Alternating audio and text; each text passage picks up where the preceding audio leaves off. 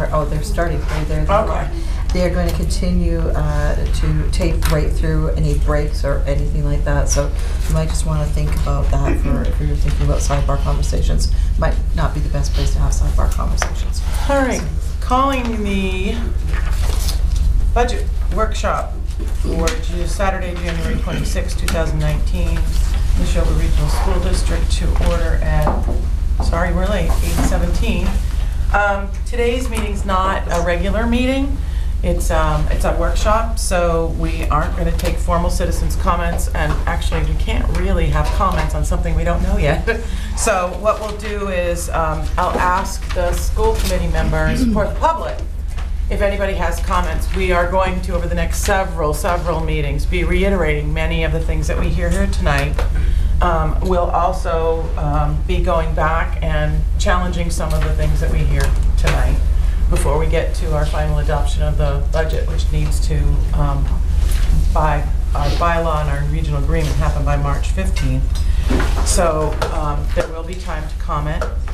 I'm going to ask the school committee, when we have folks come up to the table, let's let them get through their presentation. And then if we have clarifying questions, let's ask today, but debates, what would I'd like you to do is note the subject areas that have, that you think we need to have more discussion on. I'll keep a running tally of those, and then we'll ensure that those happen over the next several meetings, so we have more dedicated time just to that singular topic. Um, I think that way we'll get through what we need to get through and not let things slip through the cracks, but allow these folks to get through their presentations and what they want to share with us. Um, Okay, I think that's it, so I'm going to turn it over to Superintendent Clenchy. Thank you. Uh, Before we get started, I just want to introduce, probably more for the cameras and the community uh, than around the table. We have a couple of uh, additional people sitting in the audience today. We want to recognize that. Of course, Alita, we always want to thank Alita for all of the background work that she does and helping to get everything organized for us. Uh, Tom's not sitting in the room right now, but we want to do a special shout out to Tom and thank him very much for providing the food. He and his staff just did an outstanding job. Um, Also, uh, uh, sitting beside Pat is Michelle Cody. I think she may have uh, been in some of your other meetings, but uh, it- she does yeoman's work on this. It is her that prepares this binder. It- It's, it's her that plugs so many of the numbers in back and forth and does the double and triple checks and whatnot. Um, And and so she's just a a key pivotal part of this process.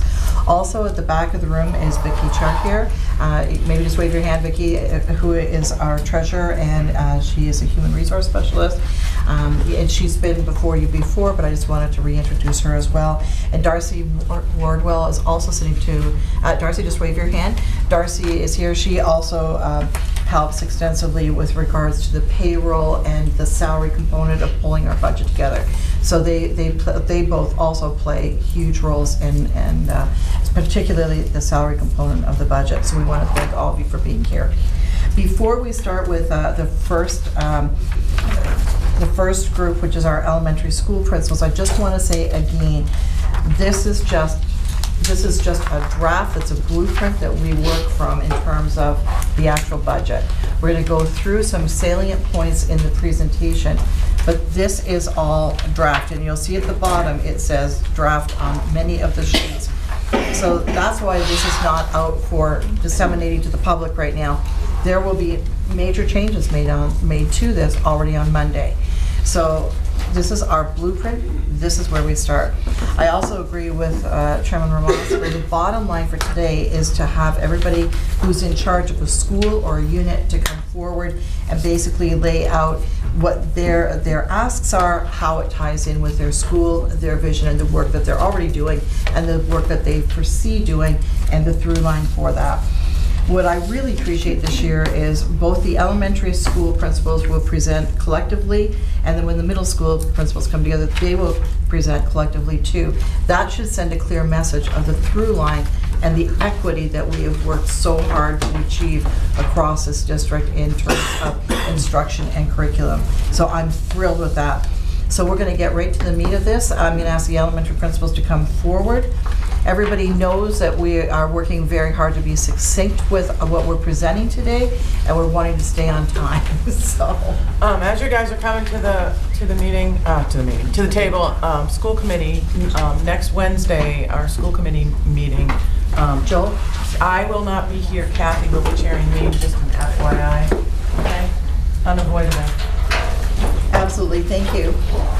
So with that, then, we're gonna turn this over to our um, elementary school principals to kind of get started and uh, walk us through what you've got on your uh, presentation. Do you want us to follow along in here? You could follow along in both places. This will give you kind of the lay of the land in terms of the salient points.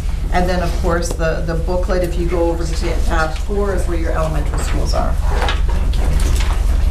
Yep, go ahead. So good morning and thank you for the opportunity to meet with you uh, to present our budget request for the 2019-2020 school year. As the first principle on the agenda to present budget, I'm going to present two items that all three elementary buildings have in common. Uh, In our non-salary site-based budgets, we strive to be, strive to be collaborative and calibrated in much of the work we do, and these two items are no exception. Uh, As the school committee is aware, in the elementary buildings, we are in the midst of a multi-year literacy initiative. A major component of that initiative is the professional development that teachers are engaged in with regards to assessment and instruction. In order to support the needs of students, each elementary building is again requesting funding to support the ongoing development of our book rooms.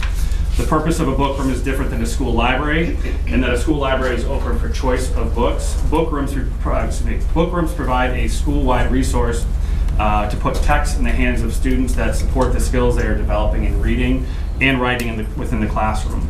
Uh, across all three buildings, we are seeing major gains in empowerment and learning from our students due to this initiative and the hard work of our staff. These resources support those goals. The second item that's common to all three buildings is the purchase of science curriculum materials.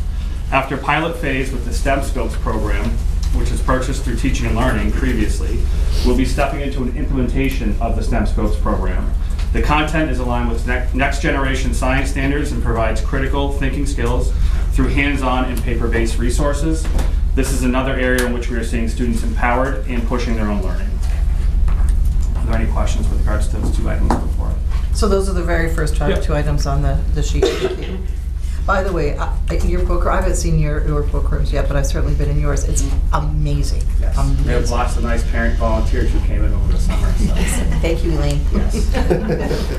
Uh, With regards to center, thank you again uh, for the opportunity to present the budget uh, request, um, both personnel and non-salary. Uh, Our requests reflect both district and goal, and school goals and support the ongoing success that we have at center. With regards to personnel requests, uh, the first request comes in the form of an intervention- intervention-based instructional assistant to work at the K-1 level. We often have students that need additional support with social emotional learning as well as academics. Um, This includes just uh, basic readiness for learning and academic needs at that level. Uh, The position would be to support students on an intervention basis and prevent the need for an educational evaluation and potential IEP. This position would receive direct, uh, it's, uh, excuse me, direction from not only the administrative staff, but also counseling staff and potentially the special education staff at that grade level on implementing short-term intervention plans for our youngest students. The next request that's being made uh, is re- with regards to the tech ed position that uh, supports our fifth graders. The request is for a .2 FTE uh, to teach the tech ed curriculum to those fifth graders. Currently, this position uh, is being filled by the Minuteman Tech Ed position that's based out of the Hale Middle School. Over the last few years, Hale has increased the number of sections of related arts for each grade level due to enrollment increases. Therefore, the Minuteman personnel has less opportunity in their schedule to come to center. So we're looking for someone to fill that position, uh, to make that opportunity um, mirror what happens at also uh, Rowlandson and Sawyer. Yeah. Let me ask a couple questions. Um, Your, uh, your interve- intervention position, is that because you see a need now or that you anticipate additional need? We've seen an e- a need. I think in each one of the school years that I've been, I'm now in my fourth year at Center, we've had a student, and and potentially students at K-1 that have needed additional support, and going through the IEP process, the educational evaluation process, sometimes happens, sometimes it does not.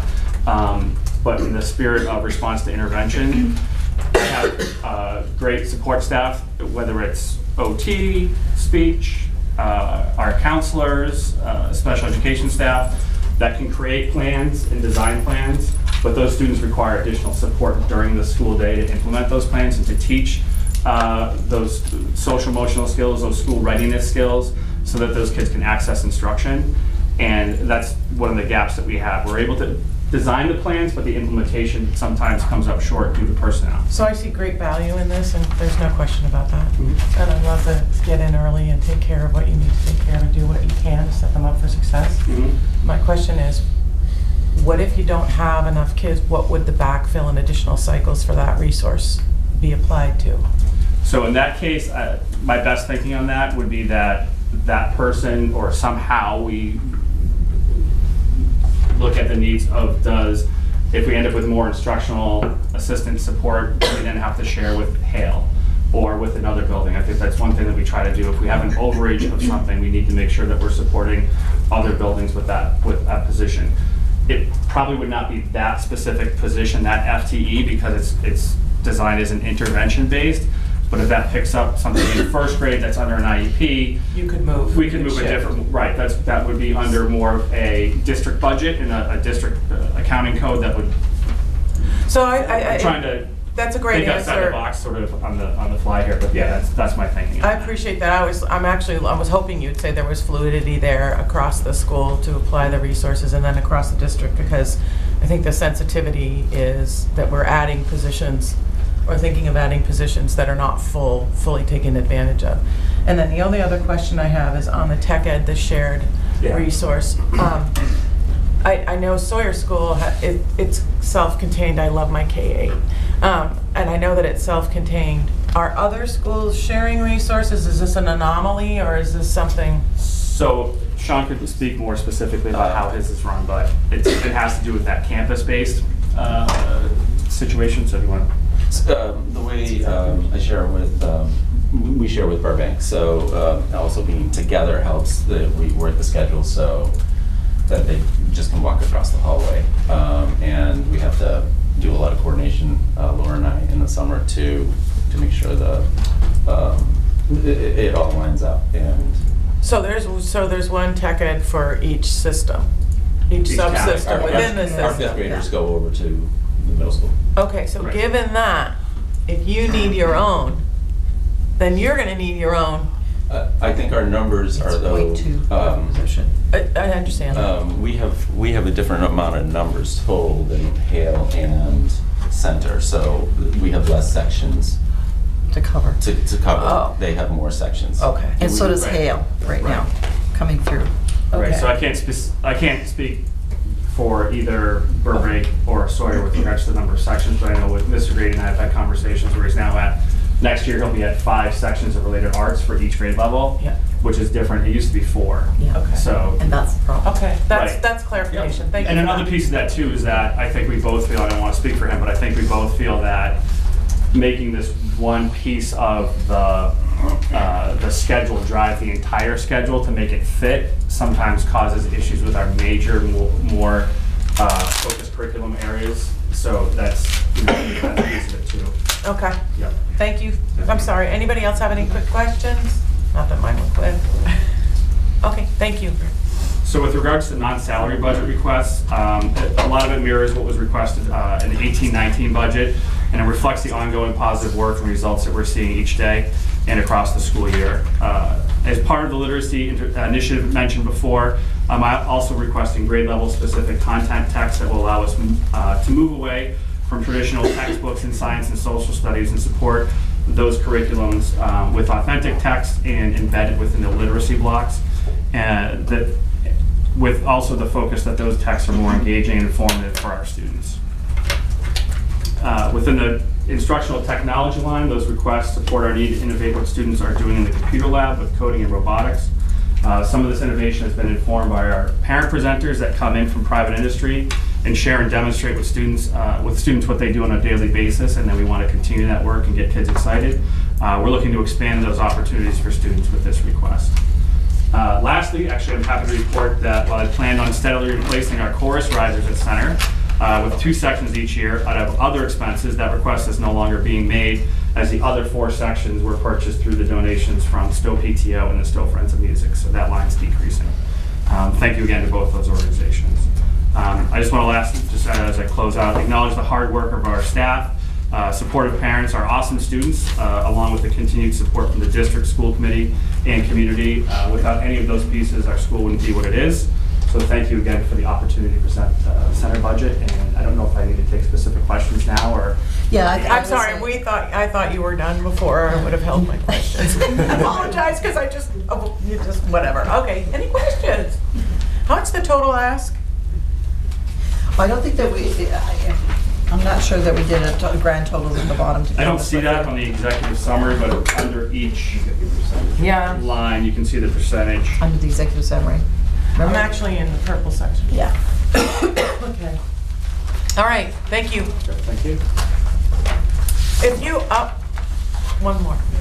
If you had one or two most critical components that you need for this year, I, w- I know we, I, w- I know, and I wish, but we can't. Mhm. What would that one or two most critical components be? Because I, based on what you're saying, I'm thinking something, but you need to tell us. Sure. I think within personnel requests, obviously, an intervention-based Yeah. instructional assistant, Yeah. you know, I I can, I can make the schedule work if need be, if I have to prioritize one thing over the other, uh, with regards to those two personnel requests. Uh, Within, you know, the, the non-salary pieces, within, I I think just continuing our, our literacy expansion is critical. Um, You know, the book room is, is something that is gonna support us for not just the FY twenty school year, or year, but ongoing, those books will last and they will stay and they will be resources. I think also to the, an increase of the nonfiction pieces to support the content areas of science and social studies. We've shifted science standards, we're gonna be shifting to social studies standards, so we need to keep up with what kids need access to. So perspective for the school committee, um, if I could, Laura, friend, um, the, what, what Ross is referencing on the reading room, the book room, is that what enabled your folk, your kids to come in with the, the, the program that you presented to us a couple meetings ago? Absolutely. It's all, there's all a tie-in. So I want to make sure that everybody understands that that presentation of the kids and how articulate they were and that they're finding joy. I'm not pushing this, I'm just trying to, to draw the through line so people understand what the the asks are and how they impact the current experiences. Okay, thank you. Great, thanks. Sean? And you're gonna hear a lot of the same things. Uh, The connectedness is really um, uh, grown stronger and stronger over the years in terms of uh, some of the requests you're gonna hear and, um, and, and the curriculum connections across the district. So, you know, thank you for this opportunity to discuss uh, the budget and how uh, it supported student learning last year and how it's, uh, I'm requesting for it to support student learning next year.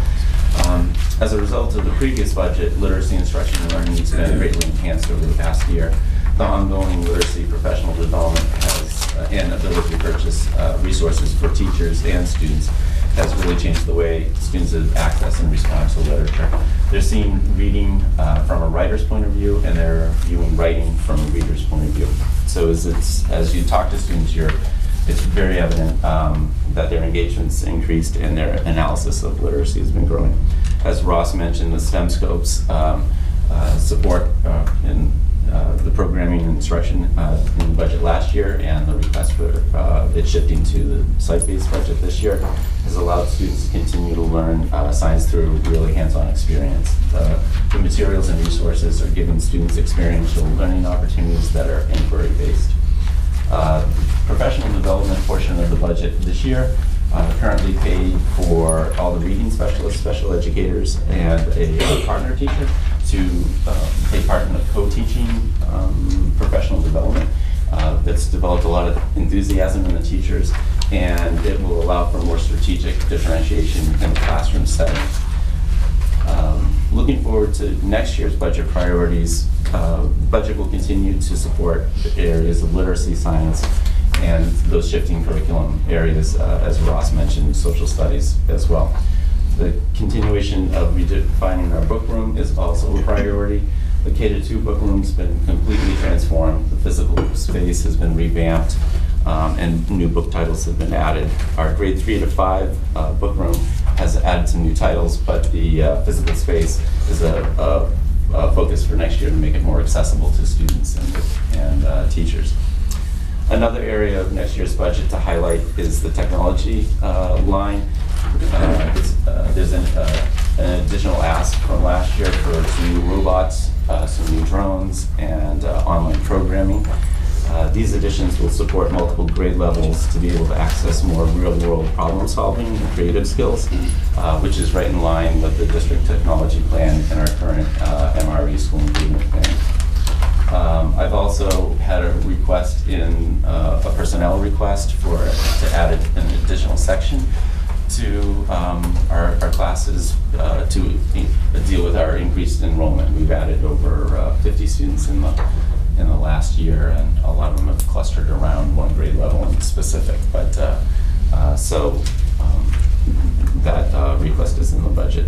But overall, the budget uh, request will continue to support all curriculum initiatives and focus on constructivist, open-ended learning opportunities that are really multi-disciplinary and cross-curricular. Question. Um, Your instructional technology, oh, wait a minute, you're not done. No, I'm done. No, he is Oh. done. No, I'm done. That's it. Sorry. I speak the least out of, uh, out Um, Your instructional um, Technology. technology asks are, are new this year. Um, Well, uh, some of it was reduced last year, and uh, so some things have been put back in in terms of um, some subscription-based uh, pieces that are particular to MRE, and then um, online programming for the drones and for robots. The, uh, we had uh, uh, students come and present a couple Yeah. years ago, and that was primarily clustered around fifth grade. So these are to support in, um, you know, like as low as second grade up. Yeah. And so my question here again is, um, do the other two schools have a similar need? And if, if they I think don't, I, I think they're a little ahead of us, and that's, we're trying to um, add some things um, to, and, and each area has some different, uh, each school has their own focuses. I know um, the center has like a 3D printer, um, and we've talked about it, but we want to put uh, emphasis on programming for the drones to, to go with some of the curriculum initiatives that, um, and, and how the instructional technology teacher works with at different grade levels. So it's, it's similar but different. that's great Yeah. input, thank you very much. Any other questions for Mr. Oshel? Okay, thank you. So thank you very much for the opportunity to be here. I won't, uh, I won't go into any detail reiterating what uh, my colleagues have already discussed regarding our literacy initiatives. We are grateful for the support in uh, both the resources to continue to build uh, the the tools for students uh, to read and write at high levels, but also the ability to provide our teachers with incredibly high-quality professional development. They, they, we are asking our elementary teachers, and they commit to it, to, to essentially go through a graduate level program of reading and writing instruction. It, it's incredibly powerful learning. It's, it's difficult for them. Uh, it's, it's dense, and they have committed to it, and we're grateful for that support. Um, you know, the, the point in having uh, Mr. Mulcairn tee us up and lead off with the elementary perspective is that we have started to work uh, together to find all of those commonalities that we're, we're working on to give you that elementary-based district perspective. With regard to Florence Sawyer School, uh, we don't have any additional staffing this year in terms of requests. Uh, Our, our numbers look to be pretty close to similar. Uh, We have been very well supported over the last several years with regard to the instructional technology, which is why that number looks pretty static uh, to what it's been in the past. Where there are increases uh, for us are with regard to professional development, and that is um, due to continuing to build our teachers' capacity around um, their abilities to teach students the executive function strategies and working with cognitive connections and, and, uh, and that group supporting the work that the school district is doing around social emotional learning and building their capacity in that area.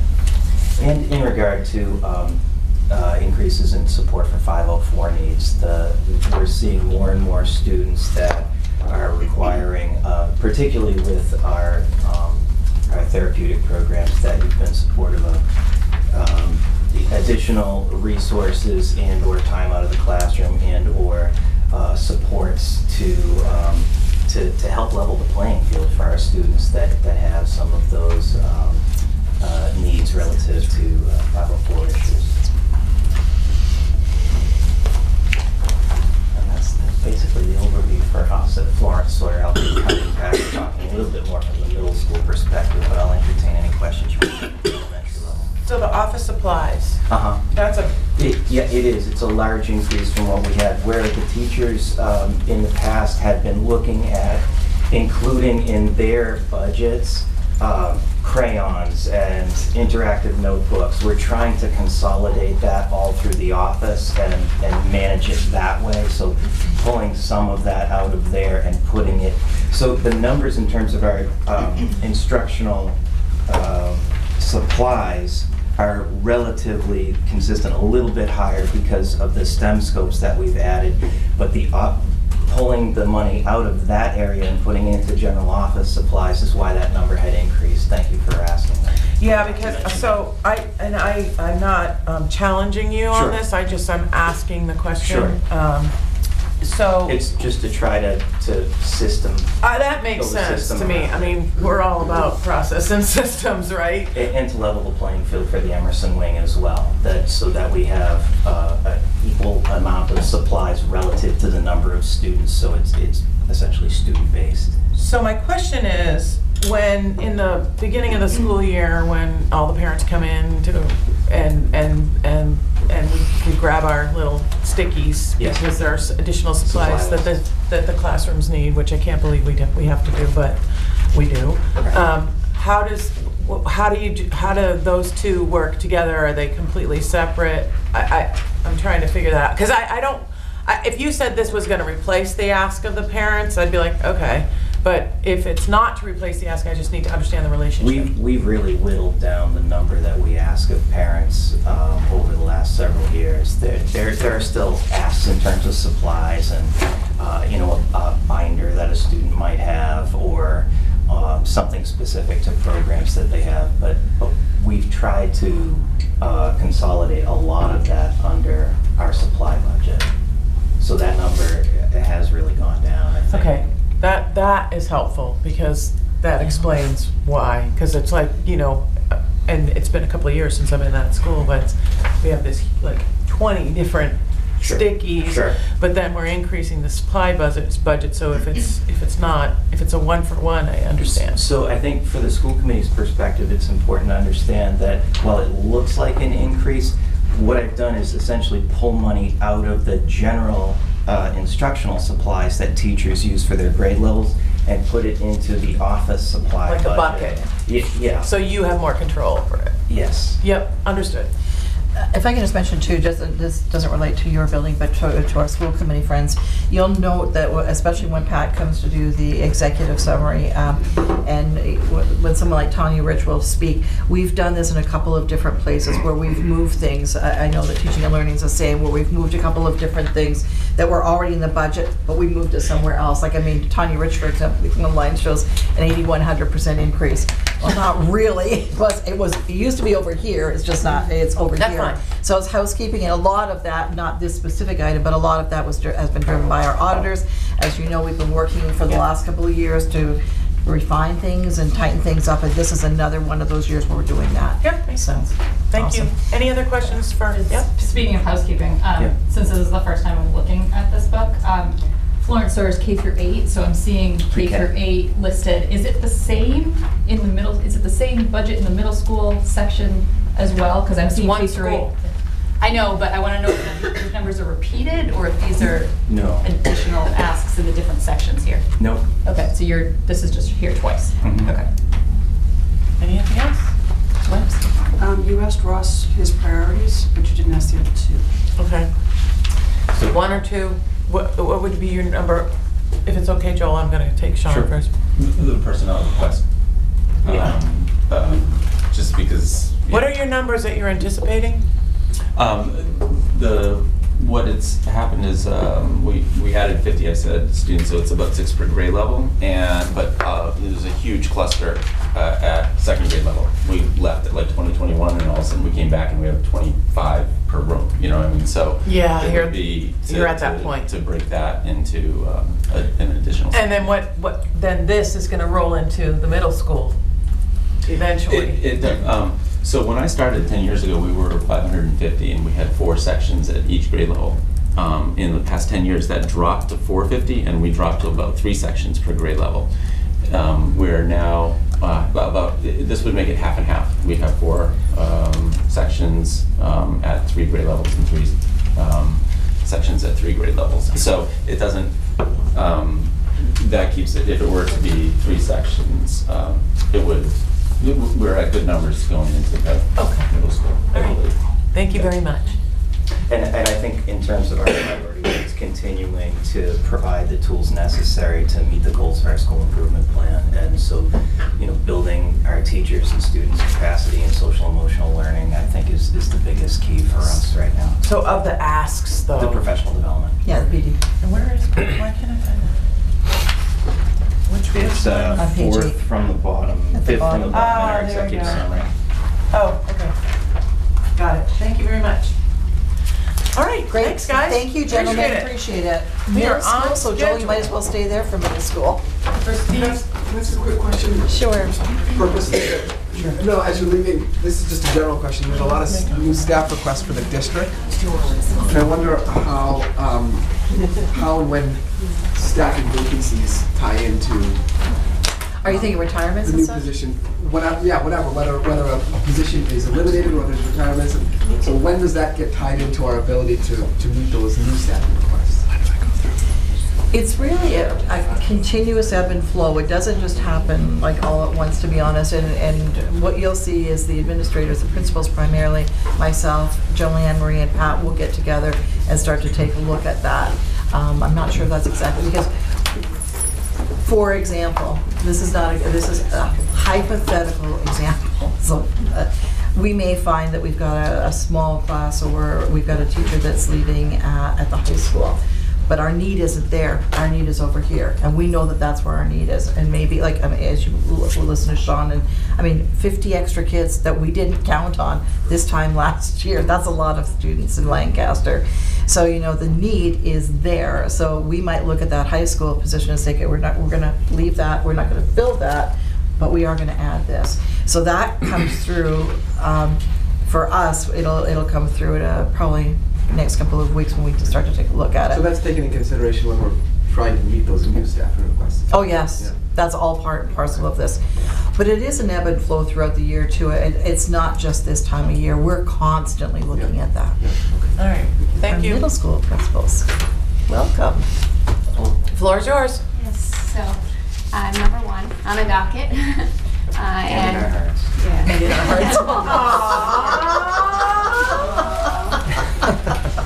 On behalf of my colleagues, Mr. Gray and Mr. Bates, we just wanted to say thank you for the opportunity to present to you our proposed FY20 budgets for your consideration this morning. Um, We are eternally grateful for the continued support that we receive from the school committee and from our school-wide communities. And we know, as our, as do our elementary principals, it's because of this collective support that we continue to make growth towards important school and district-wide initiatives. We really believe that, and we just want to say thank you. Uh, Each of our three middle schools are going to present requests to support unique needs for our school, our school community, um, based on our own school communities. Uh, And we're each going to take a moment to explain those individual requests to you, just like the elementary school principals did. Um, But it's our hope that across these unique needs, much like our elementary colleagues, we're going to see a great amount of consistency as we work together in collaboration and in alignment to ensure that all of our students in the district, regardless of which town, receive high-quality learning experiences at each grade level. Two of these consistent requests are STEMscopes and our proposal to continue our phased-in redesign of our library media center. Those are the first two bullets. Uh, The purchase and implementation of STEMscopes, again, much like our elementary colleagues, is consi- consistent in terms of vertical alignment This past year, we piloted STEMscopes, science curriculum at grades six, seven, and eight under the direction of our Department of Teaching and Learning to great success. We would like to continue uh, the purchase of this program to support our science curriculum. We believe that's where we want to be with science education. It is tightly aligned to the next gener- generation science standards. It has a hands-on investigative approach, which is exactly where we want to be. It's also complemented by a rigorous assessment component, which we know is critically important. So all three of us are submitting requests for the support of STEMscopes at the middle level. As well, we are each working at the continued evolution of our library media centers. This is a phased-in approach as we work to create open and collaborative learning spaces that are multi-purpose to support innovation and collaboration for our students. And so requests to support this process would include requests for multi-purpose furniture, multimedia tables, and resources for makerspace. And these requests are supported in both the district-wide facilities and district-wide technology budget, so we wanted to point that out to you. That's those two consistent requests. I don't know if anyone has any questions about those two.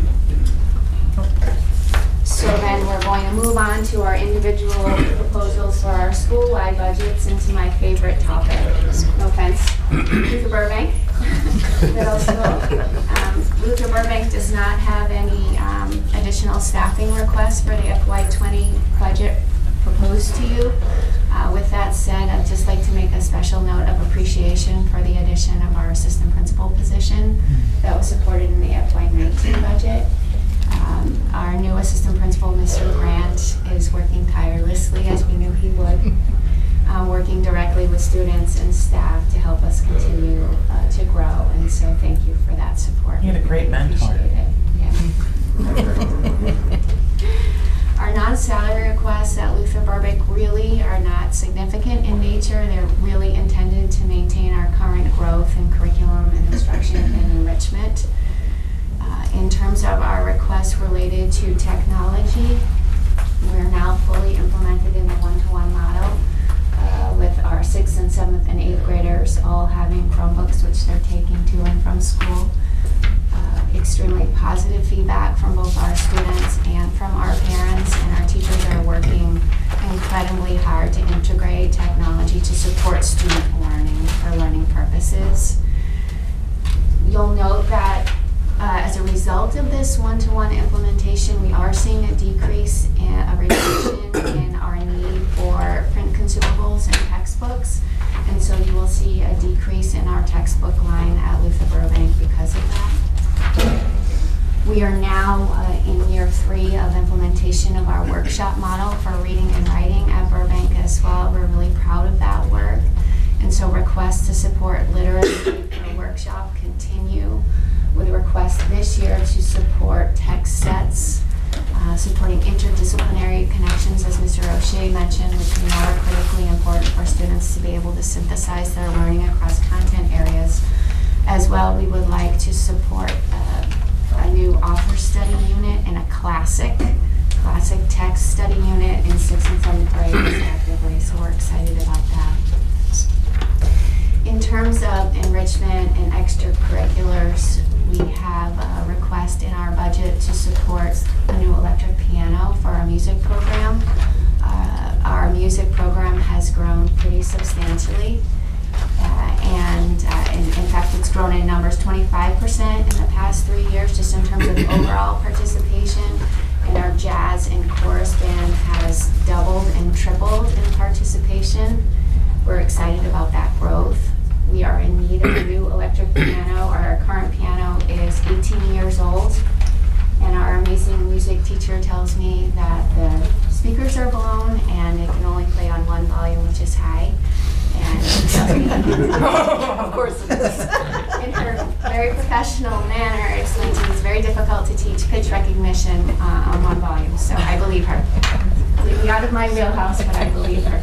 Um, So we have a, a request to support that as well. Uh, And finally, we have a re- request to support an additional extracurricular activity. That would be creative writing. That supports where we are at Luther Burbank in terms of literacy. We're currently running that program this year with very high numbers of uh, 25 and above students on a weekly basis. It's not a stipended position, so we would like to include that as a stipended position next year.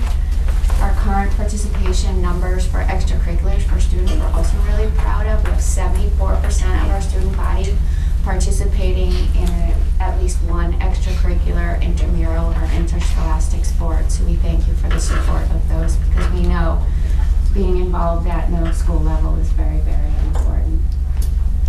I'm so glad to hear you say that. It really is. Because I've heard a lot of swirl about let's cut the sports budget to fund some other budget. I don't think people realize Those that these towns don't have a heck of a lot for kids to do after school. So I'm glad to hear you say that. I hope people latch on to that number. Yeah, students have the ability to develop those pro-social skills in supportive, structured environments and get to know who they are. Yeah. Uh, That's what middle school is all about. Thank you. So that's the conclusion of Luther Burbank budget, and I'm happy to answer any questions and just overall. What's your number one? Thank you. You're welcome. Thank you. What's your number one? I would say uh, the top two bullet points that are consistent with my colleagues, the STEMscopes uh, for, to support our science curriculum, as well as the continued evolution of uh, our media space, which really supports our digital learning plan and where we are with technology integration. So I'd say those are definitely my top two. Would you take a donation on an electric piano and get it off the budget? I'll call you. Thank you. Does anybody have any questions for Luther Burbank Middle School and Mrs. Friend?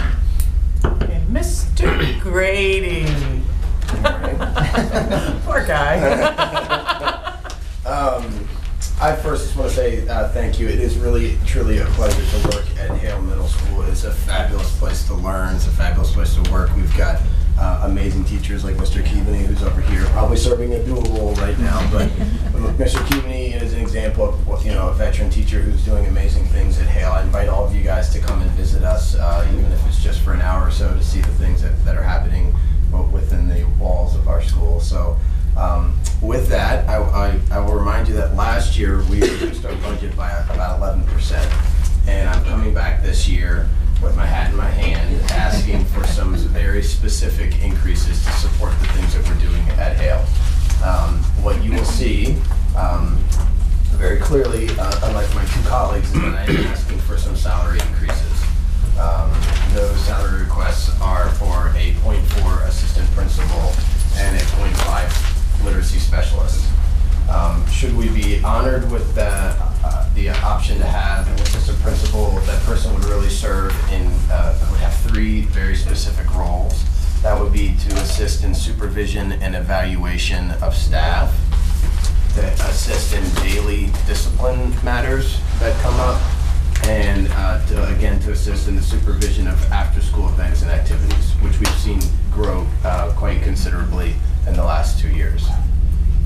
Um, The .5 literacy specialist, it is currently uh, a position that is shared with Center.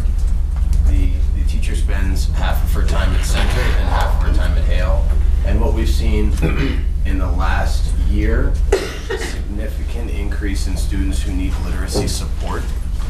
That's sometimes a push-in model where the teacher is pushing into a classroom, but often it's a pull-out model as well, where students are getting specific services outside of the classroom.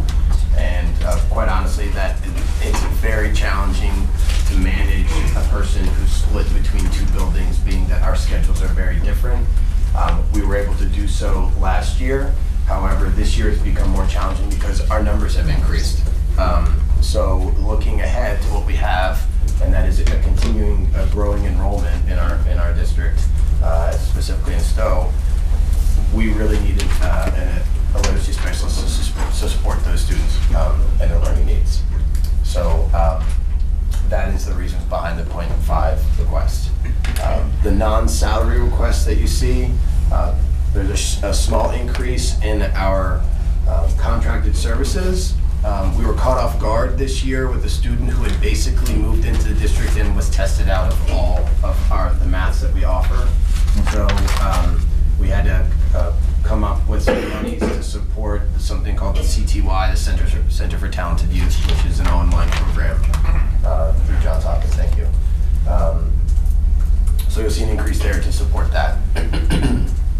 Um, You'll Is also see a request for increase in our, in our PD line, and that is to support some building-based professional development around social emotional learning and differentiated instructional practices. That's where we'll just, we'll have folks come in and work with our faculty and staff to improve the way that we, to improve the way we teach. Um, what you also notice is that um, we have some, a significant increase in our after-school clubs and activities. Um, The reason for that is we, we've made an intentional effort in the past year to grow our after-school programs. And I'm grateful that we've been able to do that. We were able to do so because we received just under $10,000 from a Mabel Hale grant. That grant will be exhausted in July. We'll have used that, which was our goal, was to use it over the course of two years to grow, grow our program. So now that we've grown that program, I'd like to support it systemically um, by folding those costs into our, our operating budget. Awesome. Thank you, Kyle. Any questions for Principal Yeah. Brady? I do. Questions before I go? Mike? Um, Kyle, is the, is the point four role, um, uh, assistant principal role, is that a, uh, is that gonna be staffed by an existing member who will shift responsibilities, or is that exclusively one staff member at, at point four? So that would be a new, a new request for a point four. I, um, I, I, we have some potential, um, candidates for the position, um, but I can't say for certain unless it was posted. Um, so it could end up being that someone on staff currently would go into that position and then we would need to fill their, their vacancy, that one oh vacancy. Elaine, did you have a question? Um, yeah, I had a, a couple questions. Um, you have a science consumables line. Is that the STEMscopes increase? Is that what the increase is here? Yes. Okay. Okay. Um, The Center for Talented, Talented Growth? Uh, Center for Talented Youth, CTY, Center for Talented Youth through Johns Hopkins. Youth, I'm sorry, youth. Um, So I would, like, this is, a this is a message to you. I would love to see one of those programs across the district anyway, but not an online one, a concerted one. It, it, is this software or an individual? So it's, we, we actually all have a student um, in our building, I think we have Yeah. one or two. One. We each, we each have a student in our buildings who are participating in this uh, Center for Talented Youth. It's an online geometry course, an online honors geometry course. Um, And it's largely because those, those students have, they've exceeded everything that we can offer. Um, The, there's, there's an online component, but then there's also in the evenings, there's often um, these uh, video components where they're actually checking in with the teacher, uh, they're logging in, other students from around the country who are taking the same course will also, also log in. Um, There's, we receive regular reports from the, the teacher of the course, uh, you know, individually, I I don't see, you know, either one of their students' reports, but we see our own students' report. Um, I, I I tend to get them on a bi-weekly basis, where it's checking in, telling us what, you know, what, what she's working on, what she needs to improve on, her scores. Um, Okay. Does So that it answer your seems- question? I'm so sorry to interrupt you, go Does that answer your question? Yeah, it, it does, because it seems like short money for something al- albeit in the situation you're in, it's a Band-Aid, right? Right. And I think as, as things evolve and you start to see more kids who need that, I mean, that's part of our charter is to make sure that all students are, um, I can't say we're working with teaching and learning to try to address that. We've been having multiple discussions about how we, we can do something more um, uh, in the favor of our students versus going to an outside contract. Right, right. But, and, and I understand that launching a program takes a little more thoughtful, you know, development.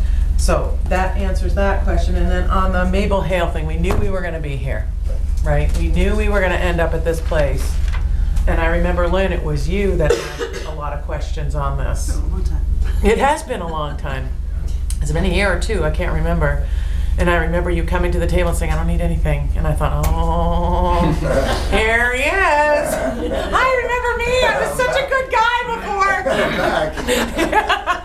So So, so the programs that you're, so here, and, and don't, again, my questions are not to challenge, my questions are to understand. Mm-hmm. So the programs that you are talking about now are programs that you had initiated for your particular school. My question is, if we're being asked to fund these programs because the Mabel Hale has now run out, are those programs that are similar to programs in the other two schools, or will we find, and I don't want you guys to go, oh, I want to support my peers. so every, anything, you know, I, I really need to understand it. Or are, is this something where we need to be looking with an eye to the future in elevating those other two schools to ensure parity? So I think we were playing catch up, to be honest with you. Um, and I didn't want to come last year and ask for ten thousand dollars to support a program if I wasn't certain that that program was going to be successful. So we were able to secure the grant, and now we can see. I just met with the director of Randall Library,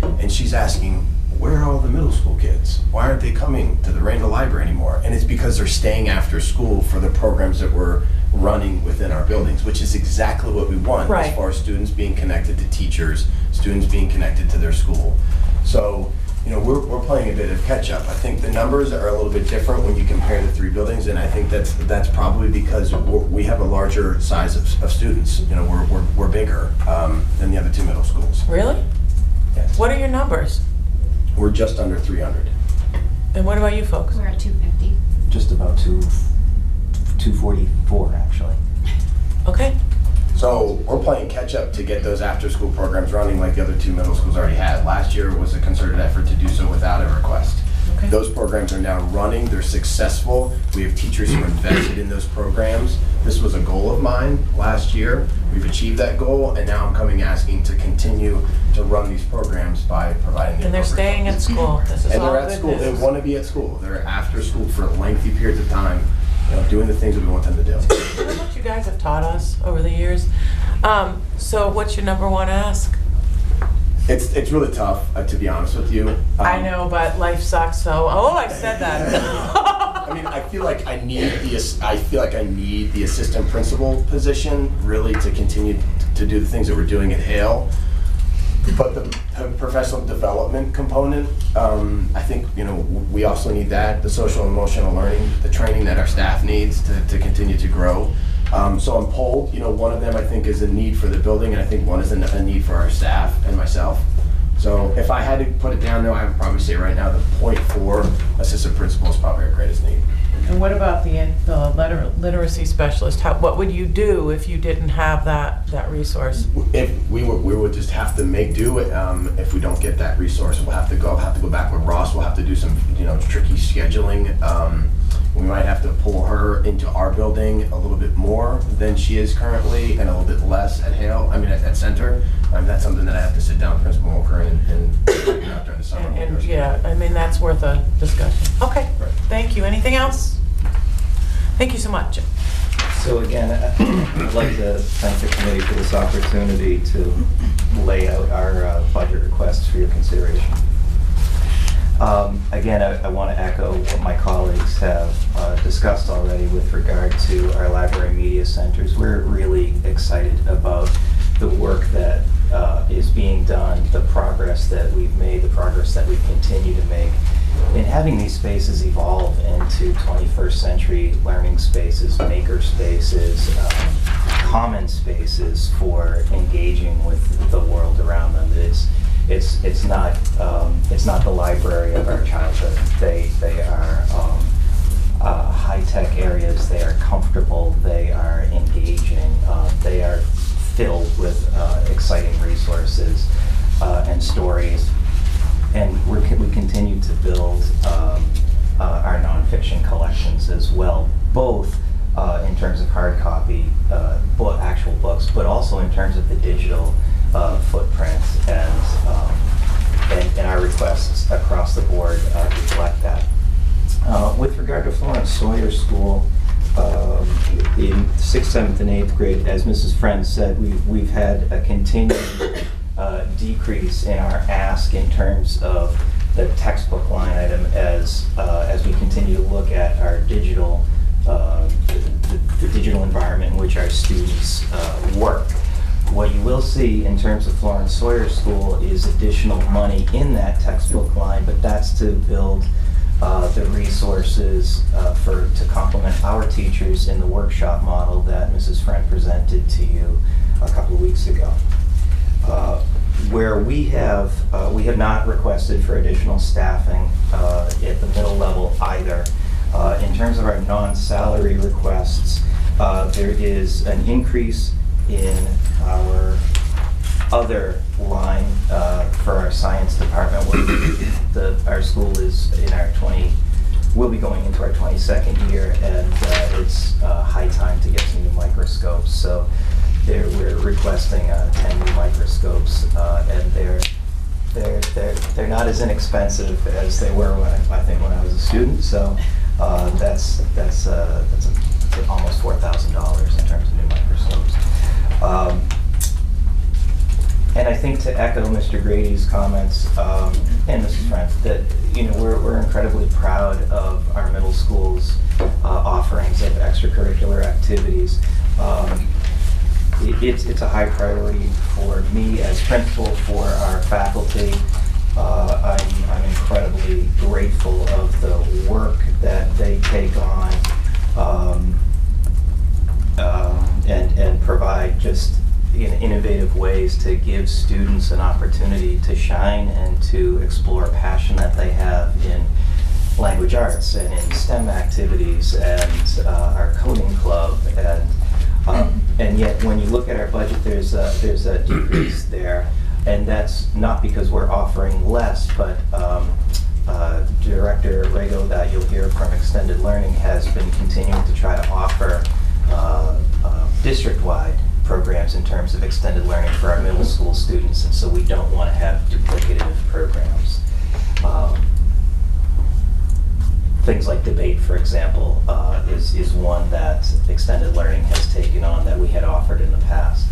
Um, our Model UN Club had been a parent-run activity, and uh, extended learning is, um, you know, looking at those kinds of things. And we're really excited about the, uh, the building modules that they're uh, exploring right now, that we had uh, extended learning and uh, and Mr. Romer came through all of our middle schools, and the response and the excitement from the kids was incredible. So we are proud of the offerings that we have for our, for our students before and after school, uh, in our case before as well, because we start a little bit later. Um, It's, there is rarely a time from seven to five when there aren't kids moving around the building, and that's because of the support that you give us, and we are incredibly grateful for that. Thank you. Thank you. Any questions? Mike? Hi, Joel, just uh, real quick, it it looked, excuse me, it looked like the professional development ask um, for Florence Sawyer was specified in the description and significantly higher than that of um, uh, Luther Burbank and Hale. I'm Mhm. wondering if that's specific professional development that you have in mind? Yep, so the ask is um, pre-K through eight, so I I think it's probably not that different uh, from Rowlandson and Burbank combined, or Hale and Center combined.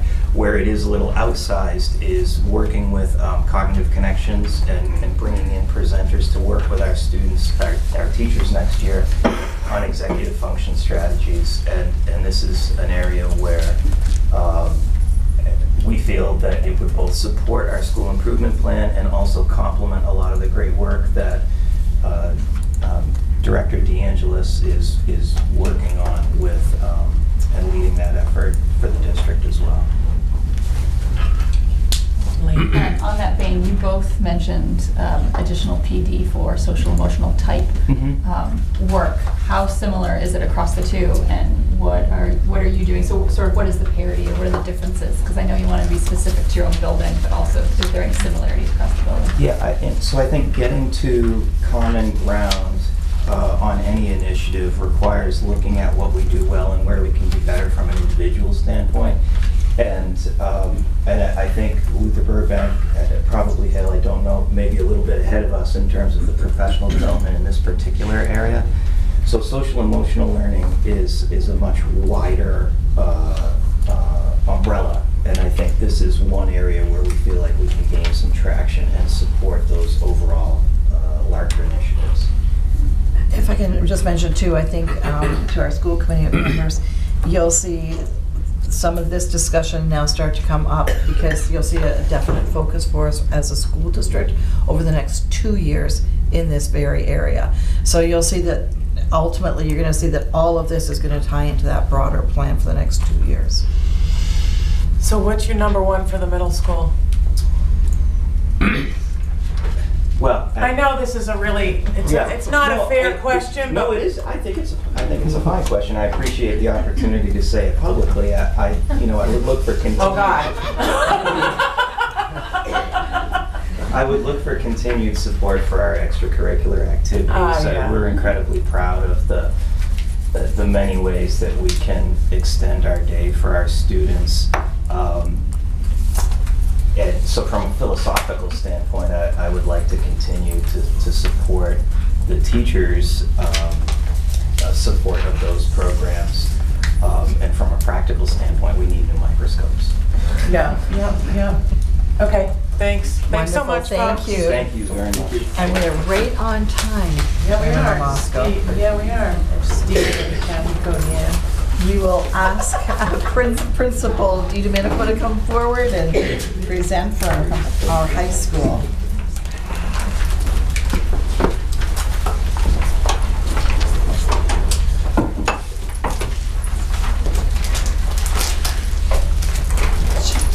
He has to, he has to do it all alone. He has to do, he is a standalone man here. This poor man needs support, so let's hear what he's got to say. Well, good morning, everyone. Good morning, Paul.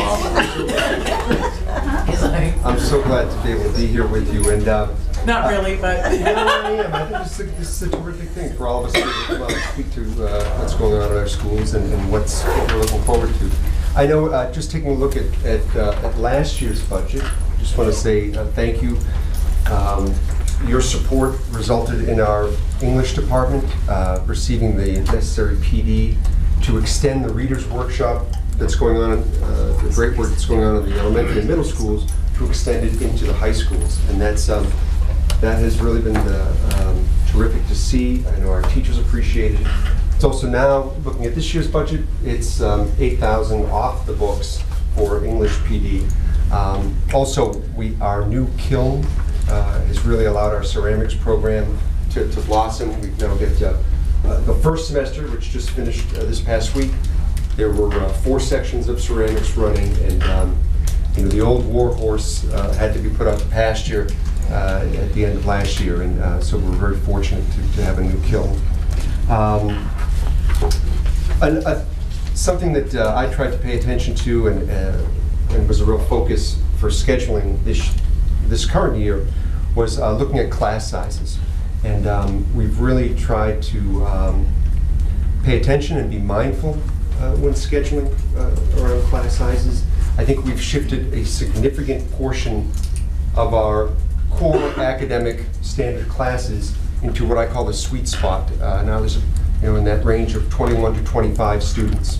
Um, We have far fewer classes running in the high teens number.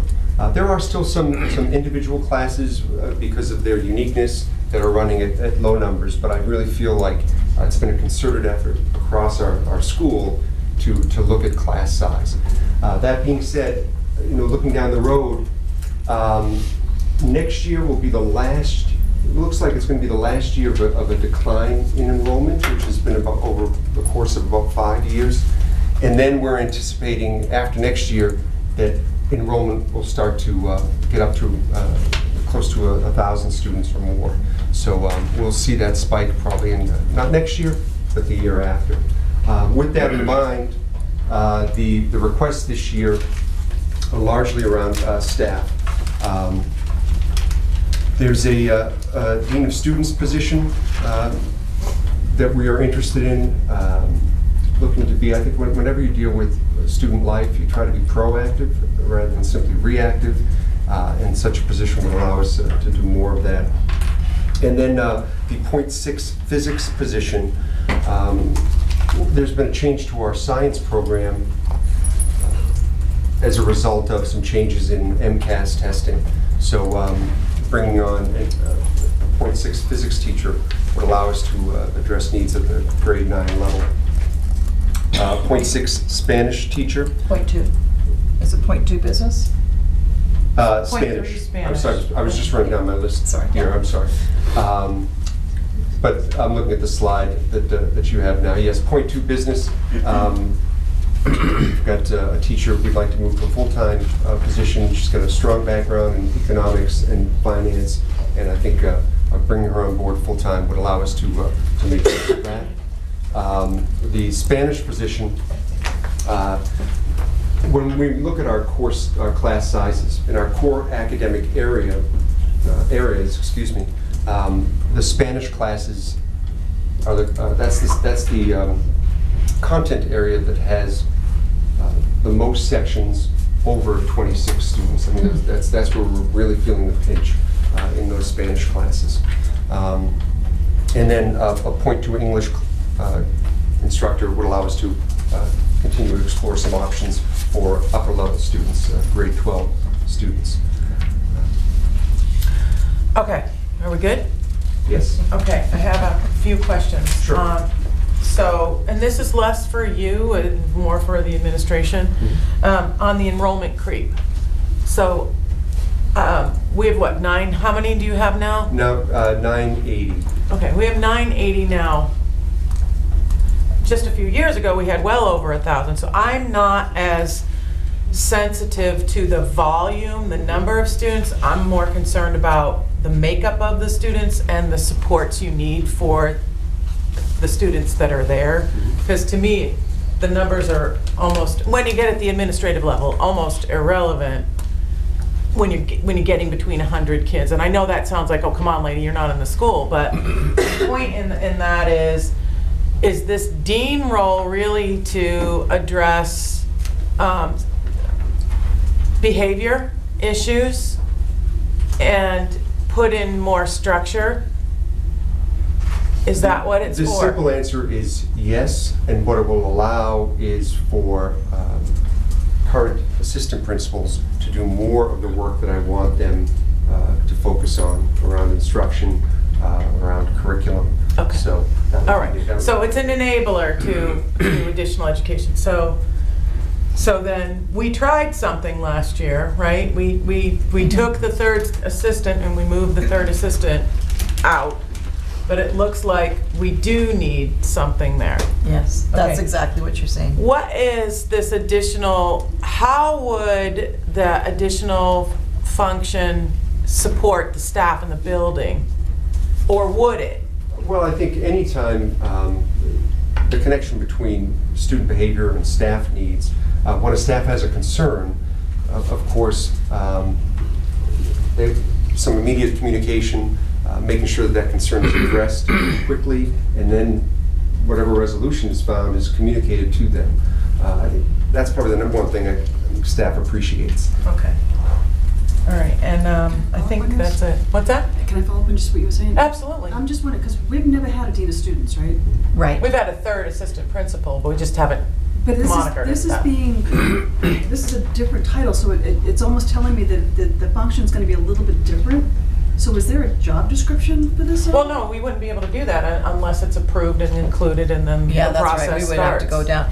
Right now, at, for, at This is- this that it infancy is? It's stage, philosophical right now, right? It's, Yeah. they have issues, well, they have a need, not issues, we all have issues. I have issues. Um, They have a need for um, additional supports for the students. And I want to be cautious too, because my comment about discipline isn't uh, the heavy-handed discipline. It's ensuring that the kids have what they need to support Yes. what they're doing. and I think at this level too, um, i- it's, uh, what we're really looking for is his vision and how it ties in. You know, uh, and so I, I still feel strongly that that building needs the three, in, in some form or another, a, a layer of three administrators. So uh, you also mentioned um, the, the classroom size, which is going to become an issue. Oh, and by the way, my, one of my other po- points on the, um, the enrollment was, we didn't really reduce the staffing in the high school based on the number of students. that- You know, the, the, the the decrease in student population over the last five or six years comparatively. I, I know that we, mm-hmm. there were a couple of sections of classes that we did not continue. Right. But we haven't done a one-for-one. No, we didn't take a look, at we never looked at it like that in terms of, if this is where you're asking, I think it is, where you look at a, sta- a student staff ratio and say, "Oh, geez, we're trying to get to this number. That's never how we've worked. It's always been the needs and, you know, and some of those smaller classes, because that was something the school committee had asked three years ago of me to take a look at those numbers. And you'll recall, I printed out all those sheets and we've been monitoring those all year long. And um, again, like every year, so it has never been to try to get to someplace. No. It's always been about the needs and where we saw the, the numbers of students shifting between uh, classes and courses. Right, and I understand that, but the 26 kids in a Spanish class in foreign language, which is challenging enough as it is, well, they all are, but um, my, my, you know, I know what I would want to see you select as your number one, but I mean, you've got a lot of needs at that school, and frankly, Yeah. you know, one of my challenges to you is gonna be where can the district reduce its ask in order to support the high school? Because I think this year, I think the high school really needs some love. So what's your number one request? I mean, you look at all these, and I, I think any, um, any principal is gonna tell you, um, that the number one needs have to be direct connection to the students. So you're gonna look at the instructional pieces there. Do we need a de- uh, an additional, some additional administrative uh, support? Yes, but we're gonna look at the teaching first, uh, whether it's the physics teacher, the Spanish teacher, whatever, those are, those are the number one things. Okay. If you take a look at what he's asking for, if you just do the, ad- now it doesn't, again, it doesn't work like this. It's not a big ask from my lens when you take a look at the instructional piece. I mean, a point six, a point two, you're not even, uh, two teachers are even combining to one FTE yet. Do you know what I mean? So you're really asking yeah. for less than one. And I don't think it needs to be FTE. justified, I'm not No, I asking to didn't- justify. Yeah, I didn't think that. No, uh, because I, I think when it, when it impacts the kids directly, then that's priority number one. So I really appreciate you saying that. It's kind of like consistent for everyone. Lynn? I, just a quick question. Um, With the lower numbers, I- I'm, have you always had 26 or a large number in Spanish? Because I know that there's more shifting towards German, um, and I don't know what other languages you have, but, so. Yeah, So um, they've always been that large? No, uh, I think last year saw a couple of factors that we anticipated would happen. Um, One, we had very, we had low, very low and declining numbers in our Latin program last year. And it necessitated the, the um, kind of staggered elimination of that program. It simply could not be sustained over, over time. So even though those numbers are small now, those, those students are now choosing another language, Mhm. you know, those few students. Um, And then we also had a uh, Spanish teacher uh, at the end of last year uh, leave, and we did not fill that position. Um, So m- most of the the larger, and by larger I mean 26 or above, sections are at the uh, Spanish 2 or 3 level. That's Okay. where we're seeing. Okay. We want to make sure that we stay on time. No, we do, but I want to make sure these guys, I, we may end up forfeiting our break, folks. Taking a quick two-minute break. You- You have a question? I just have a really quick question. Um, Thank you. 'cause a lot of the, the increases, you know, obviously are for like new textbooks. Yep. And then we hear from, you know, the elementary and middle school principals, we need fewer textbooks because we're using more digital materials. And I'm not saying, you know, mm-hmm. that, that that's necessarily what would work for kids, say in AP chemistry, you know, or whatever. But can you talk a little bit about that and, and what you're looking for sort of in? I can. I have this discussion with, uh, with department chairs every year when, when the ask comes. And, and now that I think that they anticipate it and they say, I've also looked into the online uh, text. Um, Unfortunately, what we're seeing at the high school level is um, there hasn't necessarily been a, uh, a decrease in cost. Uh, You know, I, I, maybe I'm being naive, I would, as- I would assume a, uh, a bound textbook would cost more than an online uh, version, but we're not seeing, we're not seeing uh, such great savings. Uh, Some, some courses, you mentioned some of the AP courses, um, really necessitate uh, having that textbook available to students based on their curriculum. Um, But it's something that I always talk at length with my department chairs about, and um, after this meeting, I'll revisit it with them again and say, because when we submitted this budget, of course, in, I want to say it was November, sometime around November. They're still in the process of investigating uh, the cost of those books. So um, I I have no problem going back to them and sitting down with them. I like seeing that line item, actually, to tell you the truth, I think. I think it's, I think it's important, yeah. Yeah, I mean, I was gonna bring this up as, to put on the running tally of things that maybe we should discuss more overall, because I hate to sound like Neil Darcy, but I think it's a, we need to continue that discussion from last year about the subscriptions versus the textbooks and where this is all headed and the Chromebooks are fit and all. Neil Darcy did a lot of wonderful things, so there. Um, All right, so um, I will, I definitely will add that. I, I think too, we would just want to, and I don't want to go down the rat hole here, but I think we would just want to make sure that we're identifying what is it we want to get out of that discussion is when textbook, when online. Makes sense? Does that help? Yeah. Kind of clarify what we're going to be looking for? Yeah, I think Okay. maybe, maybe long term, maybe after the budget discussion, when we talk about planning for the future, maybe we can put a, a bigger picture in place of, of what we want to do as a district and how we're gonna move there, but that's a, not for budget season Yep. right now. Well, we can, we can start to have that discussion, so to impact us, because there's a, there's a lot of asks here, so, good point, okay.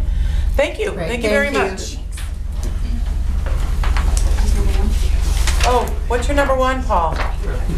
Well- Oh, you already said that. We did, yeah. You already said that. He wants his Yeah, we did. teachers. Teaching person, teaching personnel requests. He wants his teachers, man.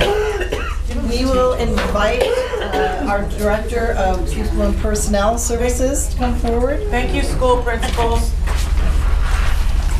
Mrs. DeAngelis, so nice to have you, thank you.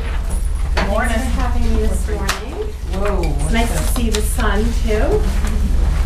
You better launch into this, because I'm seeing a big request, I have no idea what this is.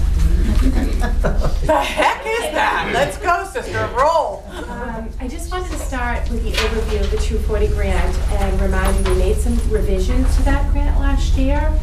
Um, We actually moved um, the paraprofessional salaries out and into the regular budget. And what we did was, because transportation is a reimbursable um, expenditure, we moved that into the grant. We actually had that discussion last year too, to be honest with you, around this table. So I table. just wanted to do a So, reminder yeah. about that, so. So that- why don't you just give a quick brief overview, because there, we have new folks on the committee who don't know what you're referencing. Right, that's why I wanted to, I was rewinding to talk a Okay. little bit about last year that we had made that Okay. change. So, um, there was seven hundred and sixteen thousand dollars that was allocated in the two forty grant this year for, um, in-district and out-of-district transportation. Which leaves a deficit of what, that we have to cover through the budget? There was no, there was no ask in the budget, so, um, which is now really a concern, because I think that the reason for the increase in transportation, we've had to put additional vehicles on the road because we need more specialized transportation, handicap accessible vehicles, um, cost more per day and per year, and we've had to add that this year. So I have concerns about that going forward, because I suspect that we will not be able to um, meet that budget expectation this year as I've looked at it over, you know, from July until this point. um, Transportation is going to go over because of those, the need for those specialized vehicles. So that's why I've asked for an additional hundred thousand um, dollars for the transportation in the regular budget, and we'll continue to put the other reimbursable under the two forty. So you don't have any need for additional staffing? No. Um, I asked for an increase in speech services, um, point two. I think Principal O'Shea um, summarized the number of new students that have moved in. Uh, We have been able to, we had um, 38 new students move into the district just this year alone.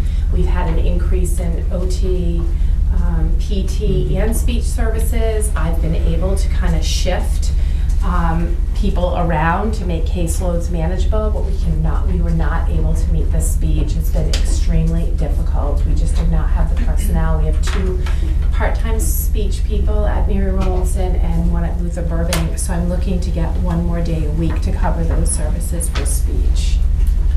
We don't really have an option to not cover transportation. Right. So I think that's an important um, fact that we all need to be aware of. I mean, in your area, we don't have an option to not cover a lot, not that we wouldn't want to, but it's a big ask, but um, It's It's something I'm also- just, I'm bringing it forward because I don't want to underestimate, but I'm really worried about it because I know I'm not going to meet that expectation this year. And I know that you-. I understand that you can't define what it is. I'm always very skeptical of big fat round numbers because I, Mhm. and I, and I know that it's a point, a line in the sand.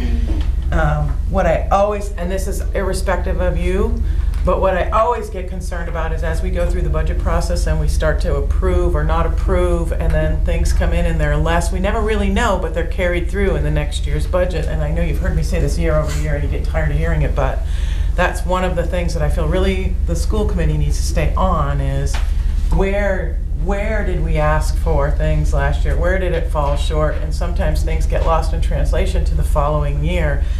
Um, This one, I'm not picking on it, it's just because it's a big fat round number, there's more opportunity. It could, go- it could be much more than what you're asking too. We just don't know. And we don't know in your area because you don't know who's moving into town. That's right. Right, so So- it's a moving target, and I really looked at it across from July until now. And I know right now what I have in the budget, I cannot support the transportation line right now. So I, I, you know, I'm cautious going forward because we don't plan for this money, then I have to come back and say, where is the funding gonna come for transportation? And I know I've had to put more vehicles on the road, Is that your, your biggest request? yes. Okay. I would also point out to you that we're, uh, in part as a result of this, we're finding that the need for somebody to coordinate, because it's becoming, it's, it's enormous what's having to happen right now in our offices. Between your office and, and the fabulous work that Michelle Cody does, we're, we're getting to almost a tipping point if we're not already there, because it's so complex. So I just want to put that on the table as well. So what's the coordinator for? Well, no, she's No, not I'm not talking asking about, I'm for it. saying that, I'm not uh, saying that at this moment in time, I'm just saying. General coordination of transportation is complicated. It's and a- very it's complicated. Every day, it's a moving target. Okay. Is there anything else you want to share with us? Sure, so if there is a reduction in out-of-district tuition, so you can see that. in the Congratulations and thank you. Um, You know, I think a couple of factors play into that. One is we have some students that are graduating successfully, which is always exciting, and um, that are moving on. But we also um, have developed new programs, and we have very strong programs in the district. And I listen to all my principal colleagues, and because of them and the cultures that they're building, we have really successfully integrated students with the right supports in all of our schools.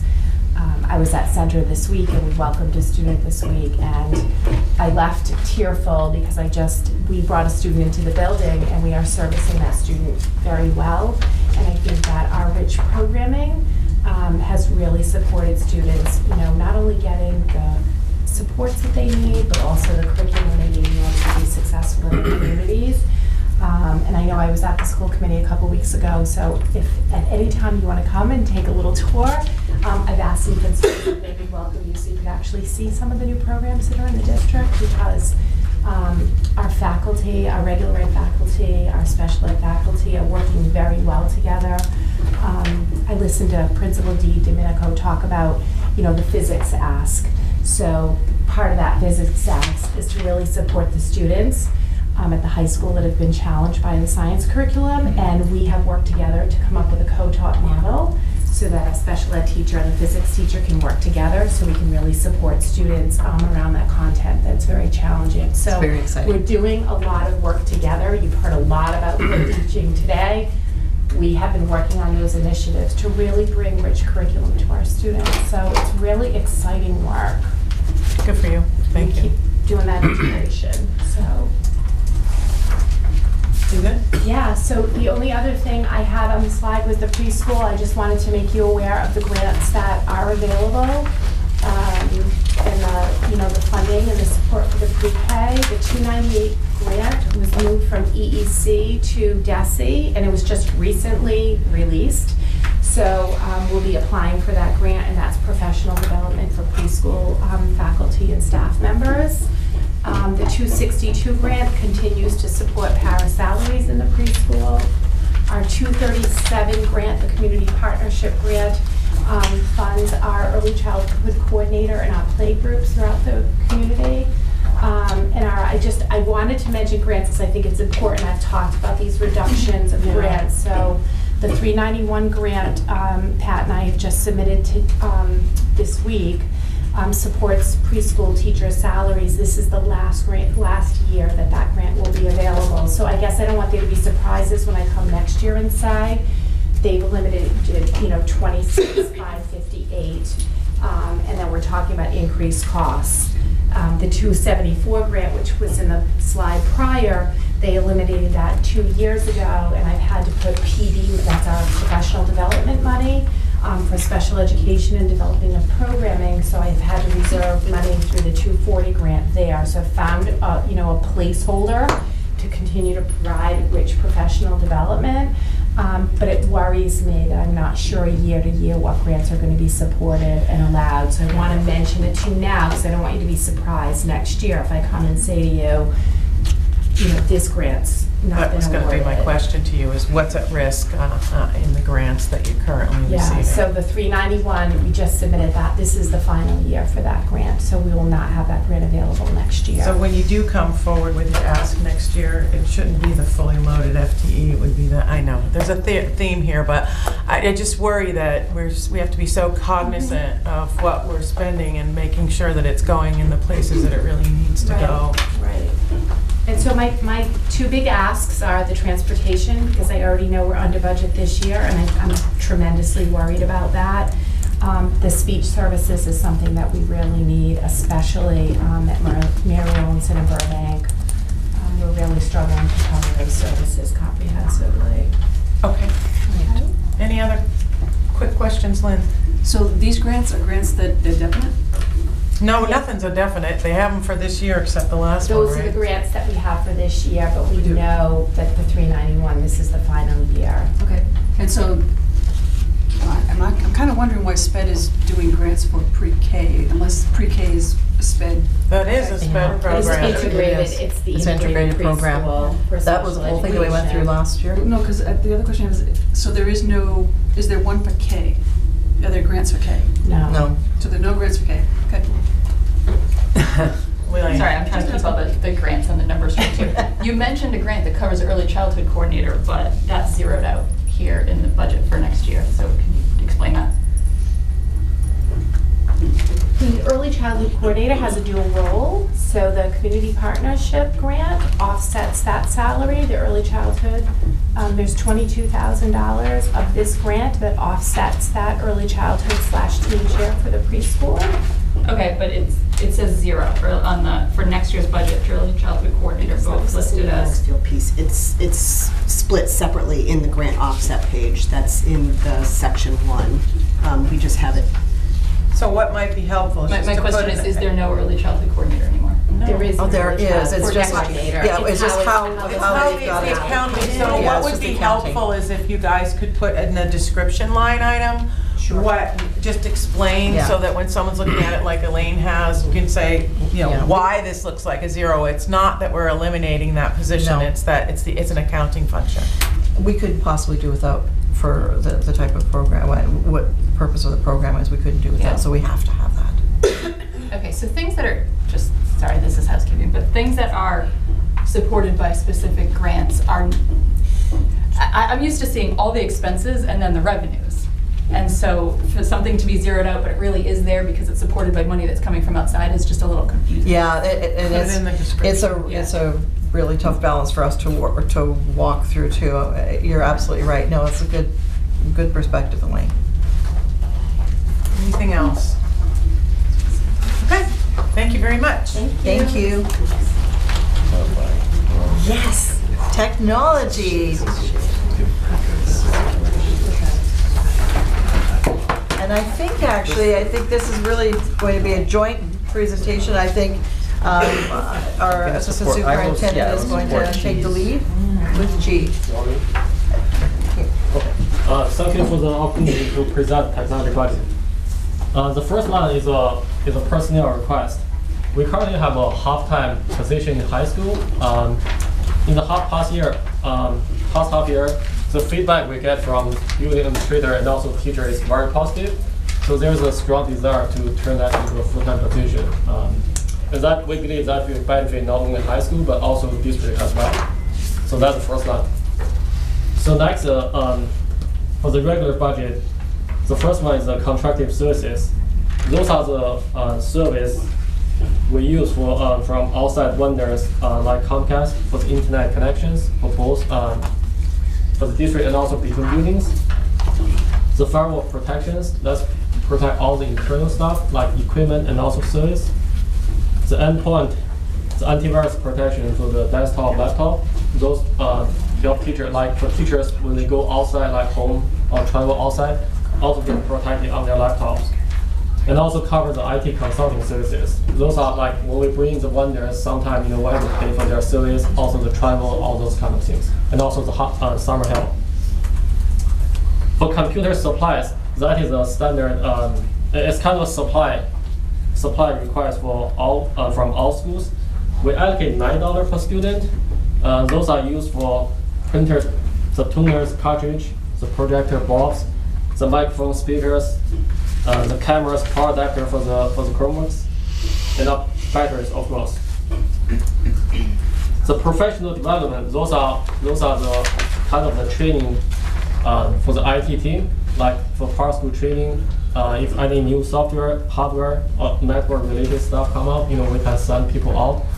Uh, that that item not normally don't get used, and in the end of the year, normally get absorbed back by the district. You know, so it's just there just in case. The computer hardware, that is a big lot, uh, mostly covers the, the one-to-one Chromebooks, the regular upgrade for laptop, desktop, uh, and also the interactive board and also mounted projector. Um, also a big piece is the network equipment, that's wi- uh, Wi-Fi access point, the switches, that kind of stuff. The last one is uh, software and licensing. Uh, there used to be four items in there. The instructional technology, that piece moved to teacher learning department this year. So we, we currently have like a school operation, that including all the software used by uh, uh, teacher and student, like Microsoft Office, and also teacher evaluation, like the Baseline Edge, uh, Power School Student Information System, student online registration, the library system, the students, the, the Snap for health applications, and also the website hosting. For business operation, uh, the software we use for covers finance, accounting, and also HR is Budget Sense, and also for the sub teacher scheduling, the Aesop. Uh, the last one is the technology operation. Those are the software we use to monitor the, soft, uh, the network e- equipment, the bandwidth management, and also the backup for internal backup and also cloud-based backup, and also the, um, the ticketing system. We also have a Cisco Cloudlock to protect our uh, Google domain for the both applications, also data. So that's a quick run for pretty much everything. So we only get thirty thousand dollars from E-rate? Uh, yes. So actually, for that, um, I, I like to explain how that works. There's a three piece involved for the E-rate part. First, uh, the E-rate cover very specific things. It only cover for network equipment, like the switch and also access point. Majority of the hardware we need, like the laptop, desktop, project, smart, those are not covered. So that's number one. So number two is um, it allocates for base for student. Like uh, for example, the money is likely very specific for each building. For example, high school has most student, and also high school has the most need for, Yeah. for that. And that and the E-rate money allocated for high school is almost used 100%. For other buildings, we usually have you know important stuff, but the thing is you know they don't like high school. They only have certain network needs, so you can say like less need. Even they have more money allocated for the but the need is not there. Mm-hmm. The third case is the money is limited per year, so we can only use certain amount for the network, but majority of the need is for non-E-rateable stuff. That's why you know the three three piece together. That's why you can see some difference there. So, sticking with the E-rate, we're paying eighteen thousand dollars for a consultant or of some sort, and I'm wondering, isn't that something that we could pick up? Because that's just filling out paperwork and time, timing, right? Um, I'm not sure if that's really a Chi question or to answer, Pat, uh, if you want to chime in on that. I think it's a little bit more than just filling out a form. Yeah, I think it is too. Um, They need copies of all kinds of bills. Which you and- provide, Hmm? which you provide, right? Which we provide. And um, to tell you the truth, to, to take a chance and miss out on a funding opportunity, that's, we viewed it at- in the past as something that, why we've continued with the consultant. Can we, can we, um, because I see where this is going, can we get you to speak with that person? I mean, is this just kind of an evergreen thing? We've got somebody that we give them whatever, but we need to understand what it is that they do for us. Sure. Could you come report back to us and fill Absolutely. us in on what is it that they do? What's the value of what they do? If they weren't here, what would we be, where would we be exposed? That would be, I think that might get to, um, because your question's valid, and I don't want to put Pat on the spot without having the opportunity to provide the information. Because again, Evergreen, to me, like, Evergreen should still be Well, questioned. I think, it- and if I'm, correct me if I'm wrong, Cindy, back a few years ago, we didn't have a consultant. Yeah. Or we had a consultant that made a mistake. And we had to go back after them. Right, legally. Yep. So. So I think that this is a good thing for us to do. Okay. Yeah. Thank you, Pat. I appreciate that. Good question. Um, anything, I have a lot, Okay. but I, um, oh. I'll let you say something, but not that. No, I just have, I have a question about that internet line. Yeah. I mean, I, I don't understand. It, it jumped more, it's more than double, the internet and the wireless, Oh. wireless access network, like, what's go, what is that? Actually, which line that? That's uh, That's a Comcast internet Internet to WAN. GP. That's the move to two. Uh, actually, for that, there's a two part uh, also involving that. First, uh, so what you see is what I budgeted, but in the end, what we actually pay will be different. First, uh, we gonna get like 40 or 50 percent rebate from the E-rate for that. Second, uh, when we budget, we budget a little bit extra just in case we need. Right now, we only pay for one gig internet connection, but we budget for two gig. So by the end of the year, we that number will drop. If you don't need two gig, we only pay for one gig. So that's why like the number you see from last year is actually what we pay, and also after E-rate. But the one we put in is we have to budget the full amount in the beginning. So here again, though, here, you're gonna hear the same old broken record out of me. Here again, not, this is not criticism on you. You gotta understand that, it's not. It's, we're anticipating, we know it's not gonna be this. My concern is if we were to adopt the budget as is right now, we roll into 20, FY 2021 with an exorbitant number in this line item and others, that if it does work out uh, over the course of the year, the actual is much less than the planned, are we rolling the planned into the next year's budget? Are we rolling in the actual? And it's on the school committee to challenge the administration on that because, and, and I'm not saying that you would do anything untoward, that's not my point. No, I didn't think so. Um, yeah, no, really isn't. Because if we're, if we're, every year we get into this, things are getting tougher and tougher and more challenging for us. And with technology, we're adding Chromebooks, ergo, we're gonna need additional technology support. Um, but I worry that with things getting so tight that if we're struggling to give the schools what they need in lieu of making sure all this other stuff is there, you just gotta stay on top of where these dollars are going. Steve? My comment is, when, when we get the monthly statements, we, s- we see what we've actually spent to Versus the that point. plan. Plus, what the commitment is to the rest of the budget. Right. Here, we're seeing, we're not seeing any actual expenses for, we're looking at what we budgeted for fiscal year 19, as opposed to what we're now trying to budget for fiscal year 20. The actuals. We don't see any actuals here. So let's think about this for a second. And again, I don't want to go down a dog leg, but you raise a good point. In order for us to be most effective in the planning for this year's budget, is should we be, I mean, we're not going to ask you guys to go back and take this entire book Just and can't even imagine. and give us actuals. However, Steve's point is well taken. We're making decisions based on asks, not actuals, and I think that's that's a valid point. So we got to figure out what we're going to end up doing here, and if you know, if let's talk about the big ticket items and maybe we chomp at those. So maybe it's technology, maybe, you know, as we get into some of these other areas, we ask for, here's what your, here's what we voted on last year, here's what your actual is, and then here's what your requested is. When we're talking about, ex, ex- you know, large extraordinary need, and you have large extraordinary need this year for the right reasons, right? I'm really happy to see that the high school may finally get the support that they need, right? So thank you for doing that. I understand why you need additional internet and, and wide area network support. Um, I understand why the hardware, I want to talk about why the hardware purchases went up, but we added another grade level to it, so of course it's going to go up. Am I getting close? Uh, yes, but there are a couple of things I would like to make the committee aware after you're done. No, you can jump in now, interrupt me, I'm good with Okay, that. so for E-rate in particular, uh, there are two things I'd like everybody here to, to make aware. Uh, first is, E-rate is never a hundred percent guarantee.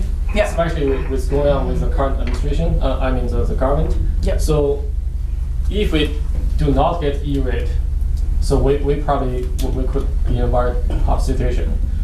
And uh, second, for the for the budget, like you know, we currently pay for one gig connection, but we budget for two.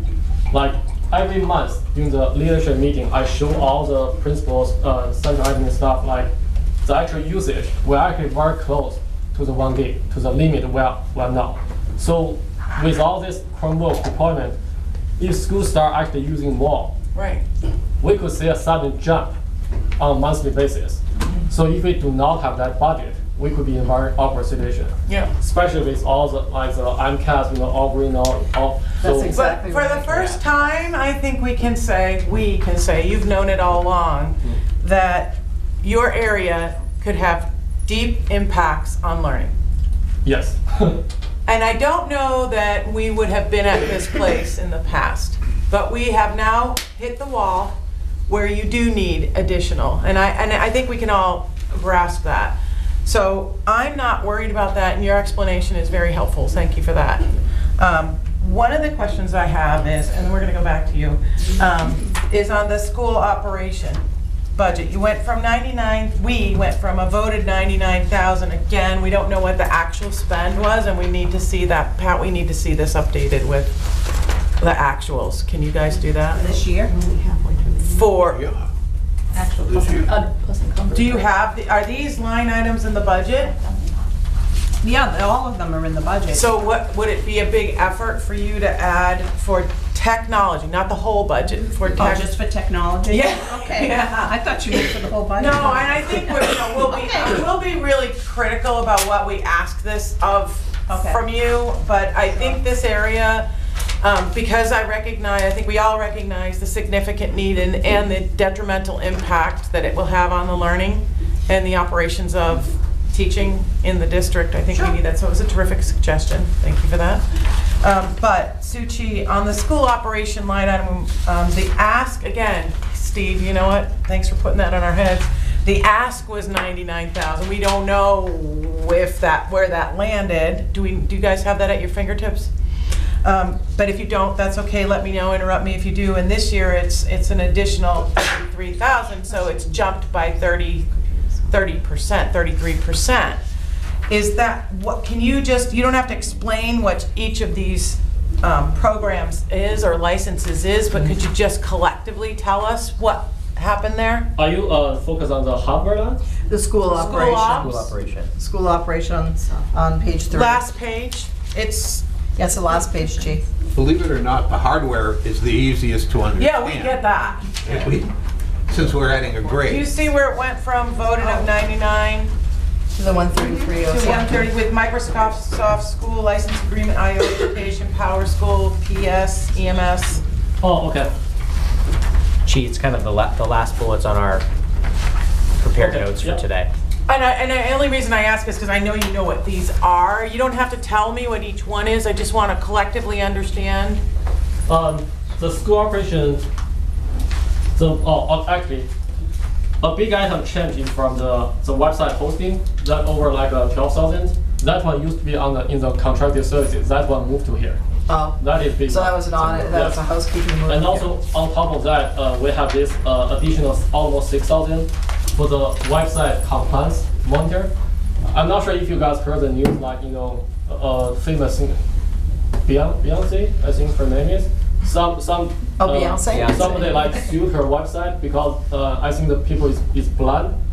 She can't see her website because her website is not compliant, compliant with all Compliant. these, uh. Yeah. We need Yeah. website So this service is to protect us for all the visual impacted those folks. So those are the big items. Those two items are almost twenty grand. All right, So so that's a- you said the contracted services, oh, so is that the Lightspeed filter? Is that what moved? What, I, I, you said something, No, the website hosting plus the school messenger. where is that? It's Here uh, it is. second from the But there was yeah. zero about voted last year, so I'm not. No, that No, no, was. no, it's right. That went from See, 99. website Are you still not in hosting. school operation? Because it's right there in school. No, I think what I heard she say was that the reason that number went up in part is because the contracted services We're went down, but I'm trying to see where did the contracted Yeah, where services go down? Because I see that it went up for internet and, and wide area network. Yes, but that part, like I said, that is with- that is before the E-rate. You have to take away like almost forty or fifty percent.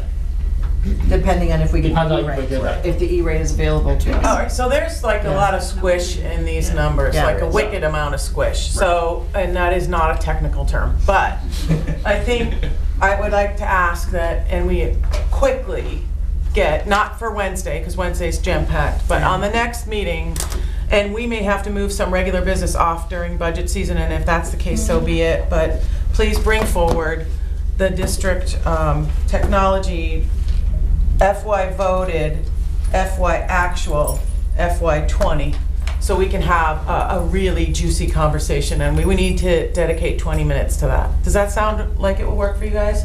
Okay. You know, you, you are, No. you are like not a happy woman, what's going No, on? it- it's, it, that's really great, but it- again, I'm back to, I mean, these are really large numbers, and we're gonna keep adding to it, and we still haven't talked about how we're gonna sustain it.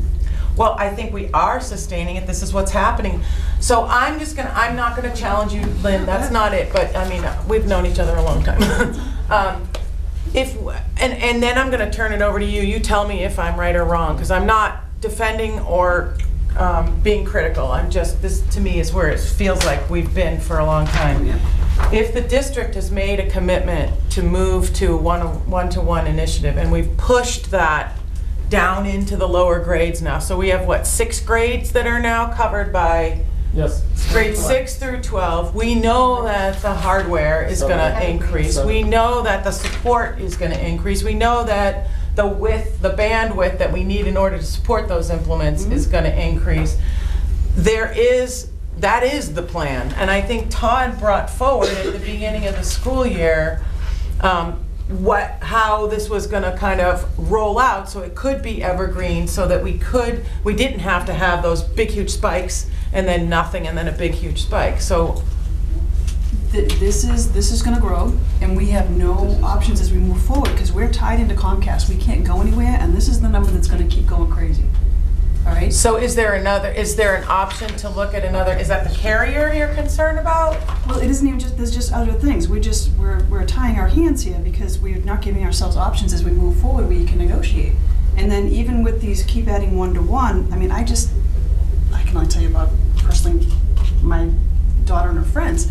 I mean, there's, in six of them, three of them have had three computers, like just because they either drop or they go. And I'm like, this is, there's no accountability for anybody getting a one-to-one. It's, there's just a lot of pieces that we're putting onto the school, and I'm not exactly sure that it's totally the school's responsibility. Hmm. What are your thoughts on that? Actually, uh, there's a couple of things I, I I can explain. So regarding the accountability, uh, starting this year, we actually take very seriously look at that. If we notice the damage or the whatever to the machine is uh, malicious damage, we actually send a bill to the parents. And we have very very straightforward like a process. We're working with the local school, my department, and also with the uh, accounting department. Once we identify this is a malicious damage, the parents will pay. So we have that in place. So that's number one. Second, uh, regarding the, the internet connections, uh, we do have options. But unfortunately, right now, we, we don't because the Sweden Comcast um, it's not even, a- actually, not Comcast, Verizon is not available in this town. Because we have a district, we can't bring that service to all towns, so we couldn't use it. So every year, like when we, not every year, like during, during all the contract uh, period, we, we went out looking for different options.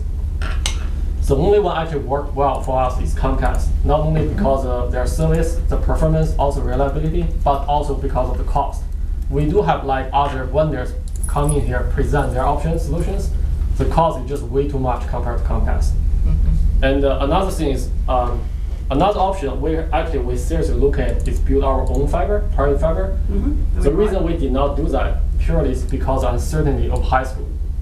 Because if we do a private fiber, we need a central place. So naturally, high school will be the hub for that, you know, for the at the center and reach out to other schools.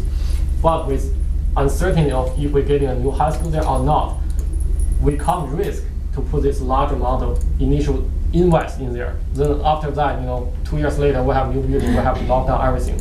It's gonna be like disaster cost-wise to the district. So that's one reason we didn't go that direction. But that is option. So we're, we're locked into Comcast and there are no options? I'm not questioning you again, I'm, I'm asking the question. Yep. There's no other option, because I know this is a problem even um, in Bolton for residents that are unhappy with Comcast. The service, um, the cost. Um, So there's no, do you, is there, how, how can we find, For right now, I, I hate to say this, from purely from cost point of view, we kind of the only choice, the best choice is Comcast. Like I said, we do like have other options. We bring up other vendors coming here, but the proposal they give us is way more expensive than Comcast. is it more expensive initially and then then it tapers off, or is it consistent? Same Is- thing. Like there are two parts. One is the initial cost, one is after Right. the, the monthly cost. We paid a lot of money about five years ago to put in our own fiber. So you're saying that's not ours? That's not our own fiber. That's I think I, I don't know. That that is not our own fiber. So we paid a lot of money not to own it? It's an initial. I, I don't understand. Well, wait, let him answer. It's a Comcast. You know, it's, it's so-called the last mile connection. Basically, um, Comcast are all these big players. Even even Verizon, they have they have fiber optic connections on the pole already. Yep. But for them to connect from the pole to the actual building is the so-called last mile connections. Those are those belong to Comcast still. Okay, just Um, from sitting here though, I know that we paid a lot of money to run fiber between all of the schools. That's Comcast connection, yes. But we paid for it. It's our wire. It's our fiber. It is not, according to the agreement, it is So not. we paid for it, installed it, but we have no, Well, did we, a- all right, so I want to, See- I want to follow this thread for a second. Gee, hold on one second. Yep. Were we told we had to pay for it? We And did the for money actually go there? My Are we in another one of those bizarro No. throwback moments? It's a retro moment? This is one of those things that we, we asked for it, because I think we owned, we owned it for the contract, because it was supposed to connect all the building, all the schools. But because we're in different districts, we had to pay for it. Different So towns. We, yeah, so we bought the wire, and we bought the fiber, we Did we, paid for the Chi? installation. We did not. We paid for Are installation. Yes, let me, Just the let me installation? explain this way, just like, Because that was over three hundred thousand. just like your private home, you have Comcast service. Comcast will run a line to your home, then provide your service. You pay service after that. But that service, that line still Comcast, it's not anybody's, it's still Comcast property. Same as us. The difference is, when Comcast run private, run connection to private home, the private home do not pay Comcast. But for us, we pay for that connection. That's the only difference, but we do not own that. All right, why don't we do this? I think we're gonna have more conversation on it, and I think this needs to go to another school committee meeting. I'm gonna ask you folks, Chi, first I want you to understand that your presentation was excellent this year. Thank you so much. Appreciate the level of detail. It was the right amount of detail. I Appreciate the fact that you had the answers that you did. So you should feel really good about that. Our questions are not, our, our questions are because we truly need to understand this because you are gonna become a bigger and bigger part of what this district does and delivers.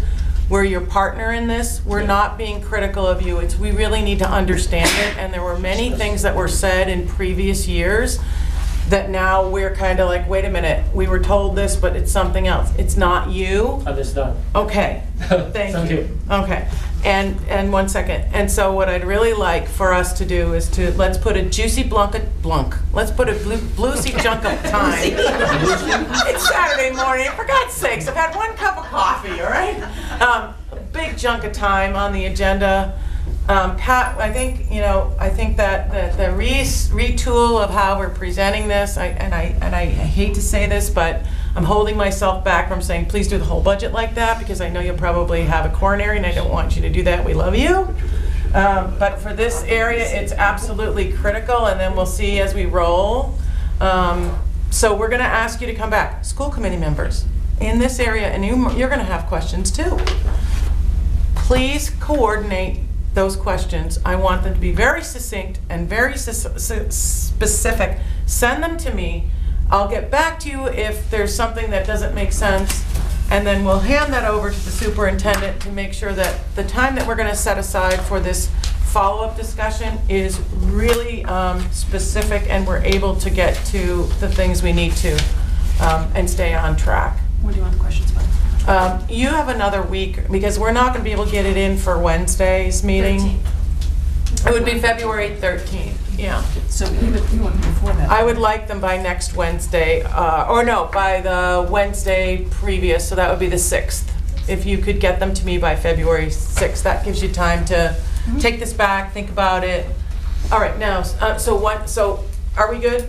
Don't leave. I'm good. All right, you're good. Steve, you wanted to make a comment. The only comment I wanted to make is that, that we're, we're, we're dealing with two separate things here, okay? One is, one is the technology and how we, we roll technology into, into the system.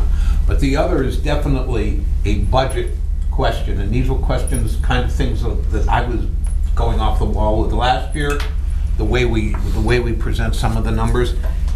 I don't, I don't really care what we, I mean, what we voted for for fiscal year 19 is fine, but I got, It's it's the really actuals. important to know what we've, what we've actually spent. We've, we're over six months into the, s- into the time now, what we've spent and what we've committed. Like, she gives us the numbers on a monthly basis on some of these Okay. broken down into these So you, your point was well taken, and we are moving that absolutely into, so I appreciate what you're saying. I think we hit that one, and I appreciate you bringing it up. Okay, are we, any other questions for Chi? Are we good? What time is it? We, um, we're supposed to. seven minutes behind. You have a two-minute break. We'll be Keep in back mind- here at 10:20, Keep in folks. mind that the cameras are continuing. Or, I'll get Tyler. one, two, three, four, five. We're gonna get started. We, we're late. What? I don't know who you were talking to. Oh, Sean O'Shea, no, um, S- uh, Susan, Susan, Susan. Up at the high school. Yes. Bigelow. Hi, um, Teaching and Learning Cindy Larson, Coordinator of Digital Learning, and Martina Kenyon, Coordinator Extraordinaire of Curriculum K through 12. Please do share with us your teaching and learning. All right. Um, So we just wanted to start off by saying thanks again for the opportunity to present um, this budget this year. And we love coming to give the principal presentations um, as a reminder of sort of the um, the consistency and cohesiveness that we've worked to develop over the last few years. Um, And we appreciate being part of that team um, and being able to support uh, a lot of the school-based initiatives on the district level. So the budget we are presenting today kind of represents that collaboration, um, another layer of that collaboration. Um, So our budget represents a district-wide effort to support educators um, in supporting student learning that really empowers uh, students to use and apply um, knowledge that they're gaining in meaningful ways and to utilize technology to build and demonstrate their own understanding. And we've talked about that over the last um, couple of years. As an example, um, as a result of the support from this year's budget, our grade eight science students um, recently completed a project where they um, researched a science cause of interest and then developed a public service announcement um, that they used to teach their classmates about this cause that they were passionate about. and it presented some great um, interdisciplinary opportunities with um, social science, ELA, and math, actually, in terms of the different um, things that kids had to do. And that was a direct result of the collaboration that um, we facilitated with teachers to develop that common um, project and unit surrounding it. Um, You already heard from the, my uh, principal colleagues, K to 12, that also as a result of the um, budgetary support this year, uh, students in uh, their literacy work, K to 12, uh, are really working to, um, to get specific instruction and specific feedback to strengthen their reading skills while also having a lot of choice in terms of the reading and writing that they're doing. And we see this simultaneously building those really important skills and hopefully um, developing their passion for reading and writing. And it was great to hear that mentioned earlier too. So the FY20 budget really continues this focus, but adds another layer as we've recently um, uh, as the state has recently approved an updated history social science framework. So a lot of the um, change in this year's budget reflects that um, state um, initiative as well. Uh, Just like other content areas in history and social science, students are going to learn content, but really do that by developing skills that will take them through life, such as media literacy, civil discourse, civic engagement, and we hope that curriculum and professional development support will really help teachers facilitate that with students so that we can, um, The civics is a student and staff initiative. Oh, I love that. yeah. Yeah, and again, it's, it- there's so much opportunity for interdisciplinary work, as that small example earlier hopefully showed, so. Oh, um, and Needle, please let people know about that. Because that will put pressure on us not to cut it. What's that? Say it. no. Independent media. Pressuring me. Independent media. Oh, yeah, she's independent. She's, I still don't know what she's gonna say. God only knows what she's gonna say, but, okay, go ahead. I'm sorry. That's okay. That was So- rude. So the budget um, this year supports history, social science curriculum development work, and alongside that, um, some district-wide professional development to support that curriculum work and instruction with students. And this actually um, aligns with a curriculum review cycle that we've developed in the last couple years, um, where we set out a vision um, that curriculum development includes unit development, uh, aligned year-long scope and sequence development, but also is directly supported by specific content-related professional development that teachers use with students, but also in developing these collaborative units. So we're working towards a cohes- co- cohesive plan where we support um, instruction not only through collaboration, but actually building the capacity and skill set of our teachers um, who are already great and we just want to help grow even more. So, uh, for example, uh, the History Social Science Initiative that we'll um, work toward next year, our PD side of that will be provided in partnership with Primary Source, which is a great organization who will develop a course for us to support the sixth and seventh um, history and social science teachers who have, um, once again, gotten a new set of standards for their, uh, for their two courses, and actually an interesting model where it's a a uh, two-year-long course um, to support student skill development. And that organization also provides a menu of existing courses that all of our teachers district-wide will be able to choose from for PD, for PD professional development. Um, We'll also bring a consultant in to work with uh, teachers in grades 6 to 12 in multiple content areas, um, supporting skills around media literacy and research, um, which we see growing in terms of the need for students to develop, but also to develop teachers' capacity to actually teach and build those skills. That's um, kind of new for us.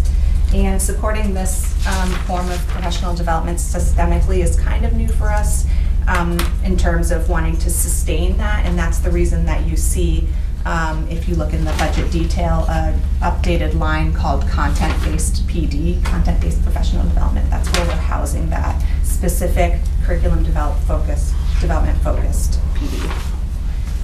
Um, We're also working with teachers this year to create a plan for shifting secondary ELA instruction um, and shared curriculum development to build upon the ongoing literacy effort in K to 5. You heard the, my principal colleagues talk a little bit about that. Um, You saw a presentation from Luther Burbank students that kind of represented some of that work as well. And this year, uh, actually last year, we started um, a planning phase where uh, we're collaborating with um, ELA teachers to develop a, a plan for um, how we will bridge the instruction and student learning K to five which um, uh, uses the reading workshop and writing workshop model with the high school, who's now incorporating a lot more choice reading and um, workshop-based writing into their instruction. So we're looking at how do we bridge that, particularly at that um, middle school level. And again, that um, will, is the next step in developing our K-12 literacy plan, where um, we expect the outcome to be a cohesive vision for um, helping students develop those really critical reading and writing skills um, that will take them through their academic life, but also through their life outside of school. Um, and that uh, PD is also found in that same content-focused PD line. And Cindy's going to talk a little bit about our new uh, line called instructional software, we, which we took over from the um, technology budget and is now in teaching and learning. So that's interesting before you do that. So the increases that we saw through Chi don't include this that typically would have been in those, in that? Right. So we're gonna want a holistic view of all of the tech spend as well, I think.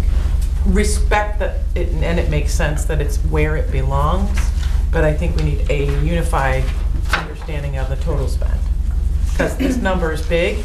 I'm not saying it's too big, we just need to understand. Mhm. Okay, go ahead, Cindy. Okay, so strengthening our uses of technology, um, instructional technology continues to be a focus in all of our grades with emphasis on um, the 6 to 12 support for the one-to-one program.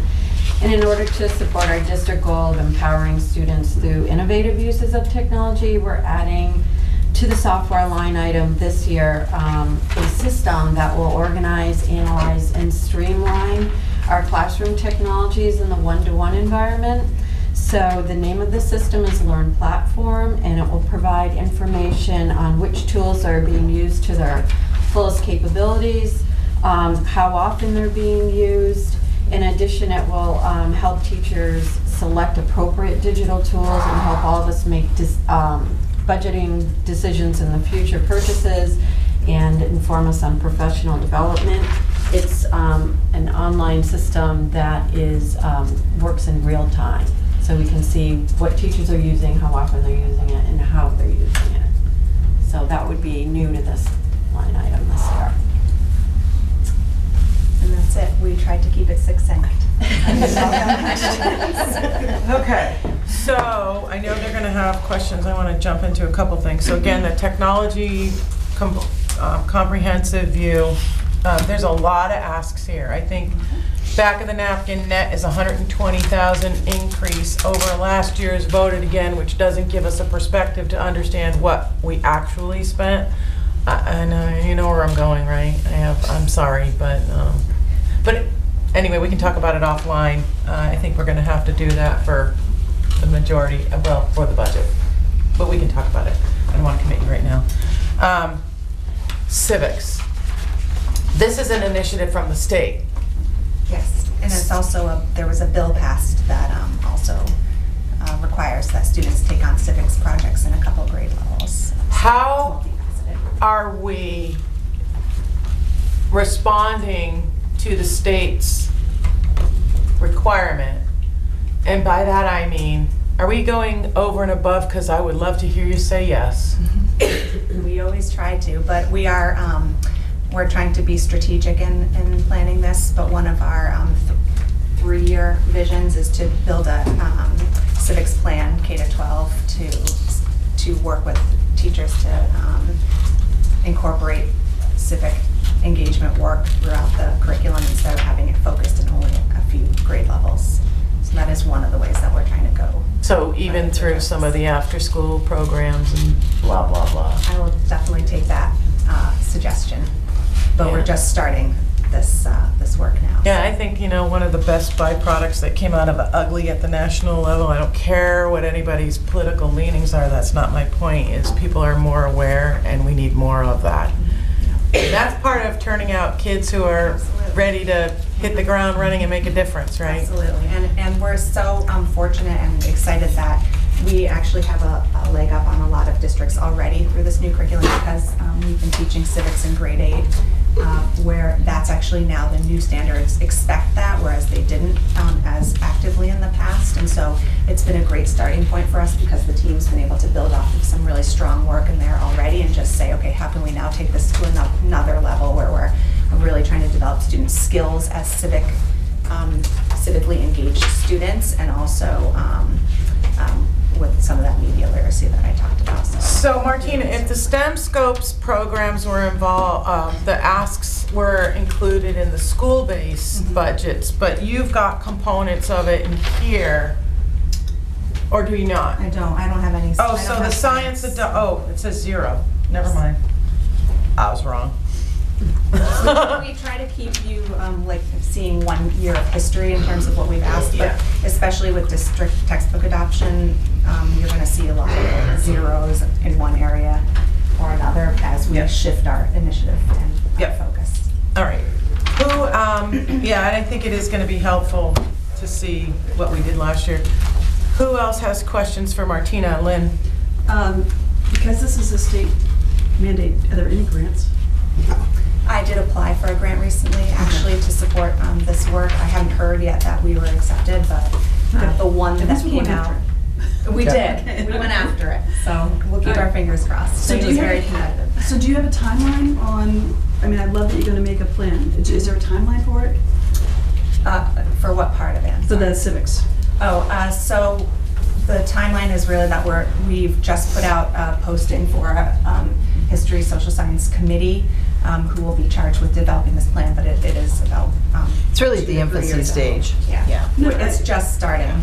Yeah, I. So what, so But I'm looking at three years three years for it to be completed, but you're not, you're starting it for next year? for um, starting even to just plan how we're going to roll out all the different components of our um, history social science framework, which includes civics, so that in three years we'll be fully Civics is not standalone in, in this, this Yeah. particular So it's a totally history. It's all, It's it's all all, it's a whole thing, so it's a whole big thing that we need to deal with. Okay, and so these asks are actually to start some of that work, right? Yes. Yes. So, we're going to flesh it out? Yeah. Okay. Any- And I got one on a different Oh, I'm sorry, go ahead. So instructional software, some of these sound familiar, like BrainPOP and Rubicon Atlas, and like, there was no money for it last year, and there is this year. And so I'm wondering, um, Wow, wow. No, Yeah, why? no, I, thi- I think that's just You have to because, flip back to the other one. yeah. Because if you take a look, I, now Pat, maybe just clarify this, because, because these say zeros here, I, I, I think that that's probably what's Yeah. confusing to Lynn or to anybody looking at this, quite frankly. It doesn't mean that none of the, that all of this is all brand new. Right, it's been moved from. It's just, it's in the budget. And So I think I that's- think again, we right. need to indicate that in the description section, because people looking at it be like, wow, you This is gotta. all brand new, and it's not. And you know what, you know what, Pat? Good It question, may be even easier, like in the instructional software new account one, okay. is in that gray bar, just to put a description so it doesn't screw up all your lines, but whatever you want to do. Right, it, it does say they are moved from technology budget. Oh, you're right. All right. Okay, so this- my question is, um, only because I don't like assessments. So I'm looking at these, and I'm I'm just wondering, did we, um, we we reviewed these, and and we know that these are actually working and helpful? Yes, I mean, so uh, we've, we've really, really been strategic in terms of which assessment tools that we um, invest in. So the tool, the two that are listed there, uh, Edulastic is an awesome tool. I know a lot of, many principals are still here. Uh, It's, it um, prepares students for that next generation assessment. We use it K to 12 and the data side because it's auto-scored. Teachers are spending their time looking at the data and trying to plan instruction as a result um, and giving students feedback instead of um, just the typical, you know, like scoring side. Mm-hmm. It's awesome. It's an mm-hmm. awesome tool. Lynn, you'll recall that we started to take a look at this when I first came into the district. We said we wanted to look at all of these assessments, and we've done that. Mm-hmm. I don't think we've ever reported it out, but we've done that. So just from the back thing, I'm just gonna throw this out because I want to come full circle. So we were collecting a lot of information, but not doing anything with it. So are we, we changed that model? We are really working We hard worked to change very it. hard to There are some use it. things limiting us in terms of being efficient with that, but it's, uh, it's on our radar and we, it's a, also a passion project for both Cindy and I to, um, try to streamline our Good, data. yeah. um, aggregation and be able to act upon it because Good. we don't want to assess students unnecessary. That's So it's refreshing to hear that um, when we ask questions about programs, it's like, well, we really don't use it, but we're gonna. So, Yeah. um, No, I don't think we that. that, any of that way. No. Love it. All right, we're gonna move, unless it's really quick, because I want to get Cindy to kind of do what she can do. Yep, Just real quick, and just so, my daughter's in Mr. K's class, and she's been going through her bills, she's, so it- it's totally, totally, my kids didn't do it, so they're, they're into it. Oh, he is anyway, so. Good, well, that's because he's a good teacher. Absolutely. Don't leave. Okay, Cindy, what do you got? Thank you. So oh, She already- she already did her. She did. Oh, Yeah. oh, So the, the new item in that instructional software was the Learn platform that I talked about. All the other systems are ones that we use. so your biggest asks are, So the instructional technology would be the Learn platform software because um, right now the analyzation of uh, how we use and what we use and how often we use it is like manual reports that I do. It also will provide us um, the ability to choose software because it's aggregated information from all over the United States. I'm not sure if it goes outside the country, uh, but they can learn from other teachers. It brings everybody together who's using similar software. Teachers rate it, they can communicate with each other. There's tutorials, so that's something that I've been doing manually. Um, and this will help really aggregate and bring more information and, and really let us uh, support the one-to-one. And it's being brought down to the, the teacher level, so the teacher can actually. That's correct. It, it it will provide them, when they're using it, PD, just learning more about how to select appropriate. informally.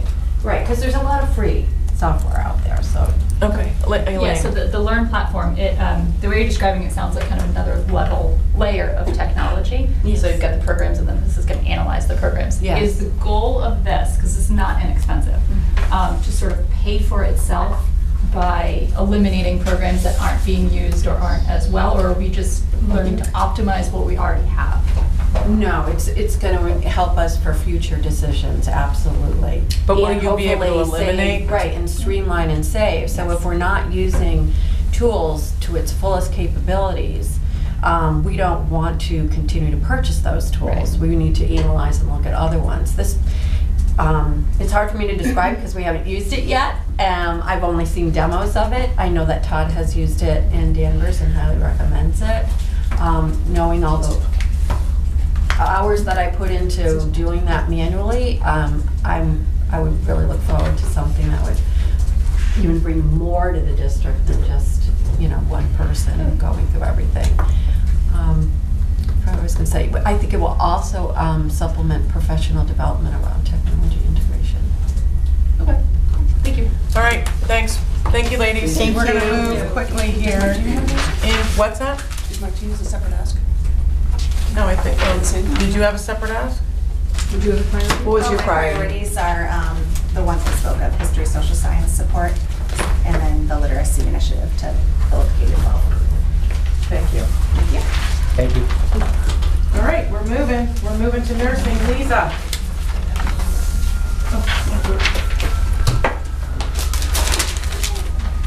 Well, again, as everyone else has said, I want to thank you for um, allowing me to follow through with um, the budget and requests um, for your consideration for health services.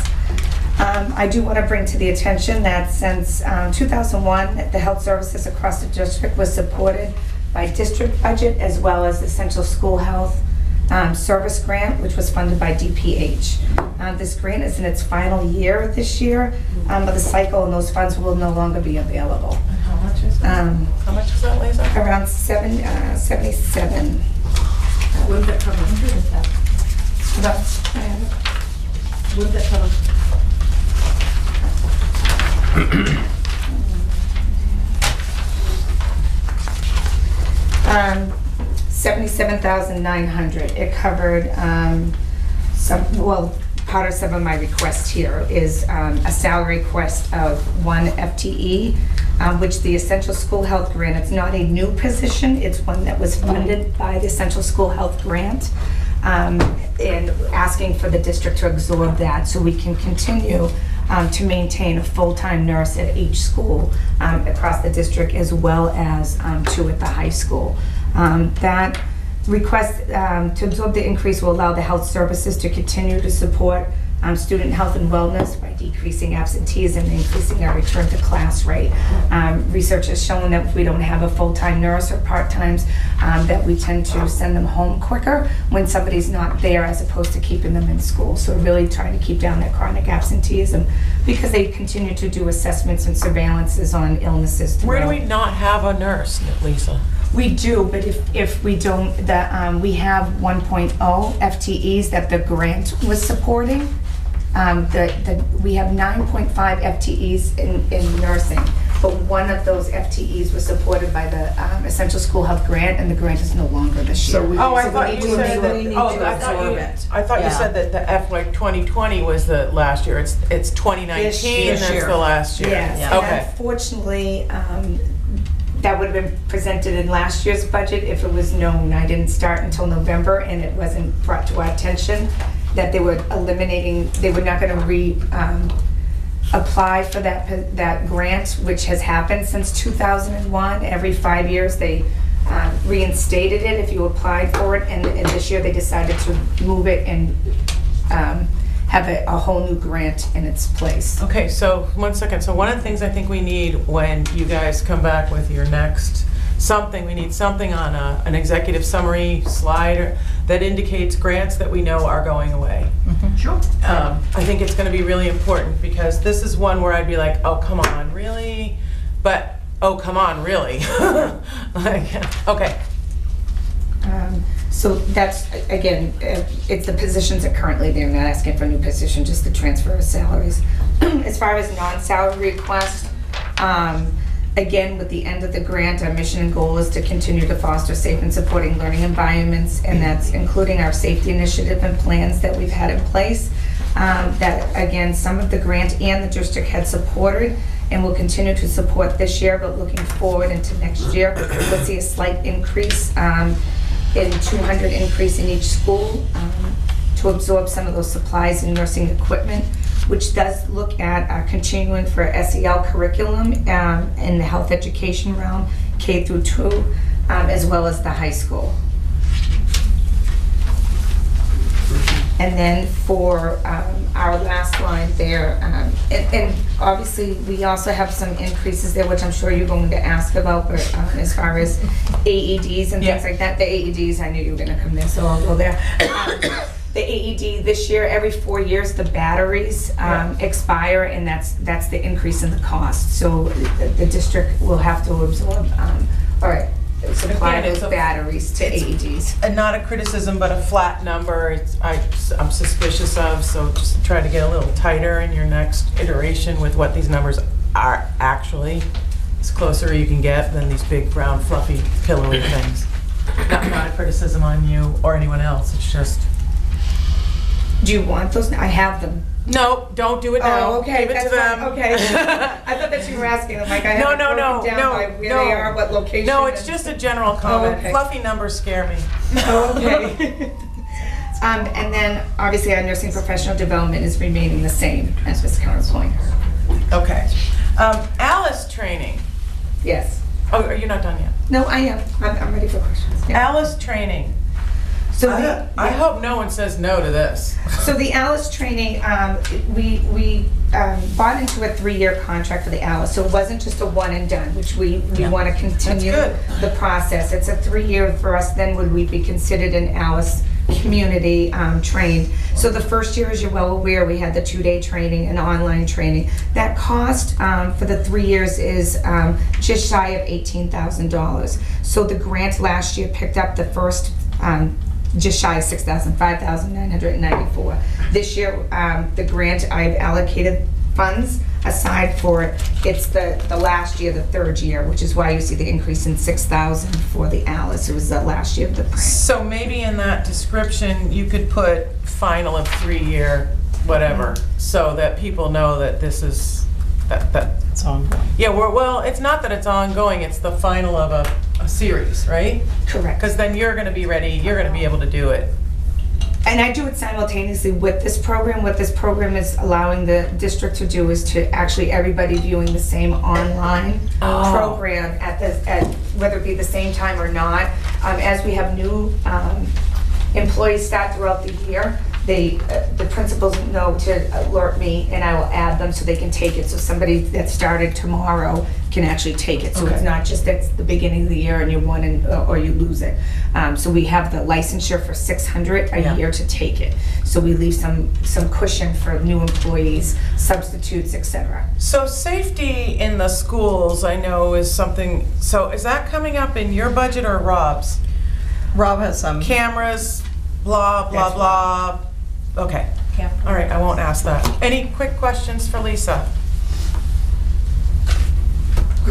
Thank you very much. Thank you. Awesome. Nice Thank you, work. Lisa. Thank you. All right, we're moving, we're moving.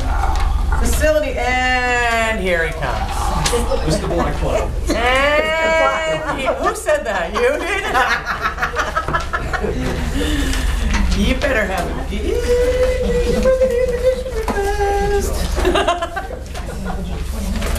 I just want to start by thanking uh, the school committee and the communities across the district for their continued support in maintaining the buildings. Um, And I, and I want to say one thing too quick. Don't worry about us being over. It's much more important that we have the opportunity to talk to you guys and ask our questions. I apologize to anyone who's uncomfortable with the time limit, but we only got one time to do this a year. All right, so I'm sorry, go It's ahead. okay. Um, You know, continued support for maintaining uh, the complex and, our, you know, aging buildings that we have across the district, um, and providing a safe and healthy learning environment for the staff and the students. Um, One of my requests this year is for a new position in the grounds and building department.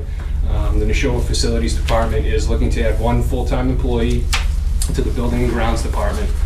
Adding a third team member to the Building and Grounds Department will allow the department to fulfill proper maintenance to grounds, sports fields, and buildings across the district on a daily basis.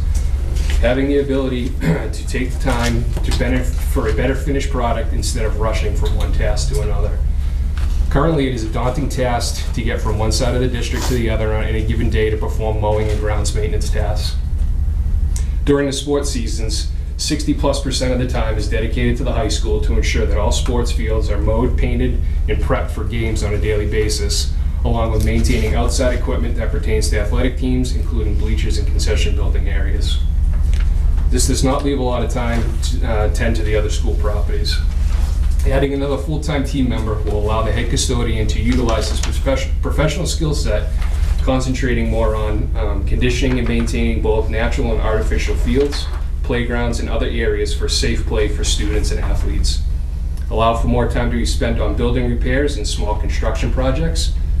Allow for more time for regular maintenance on grounds and other equipment across the district.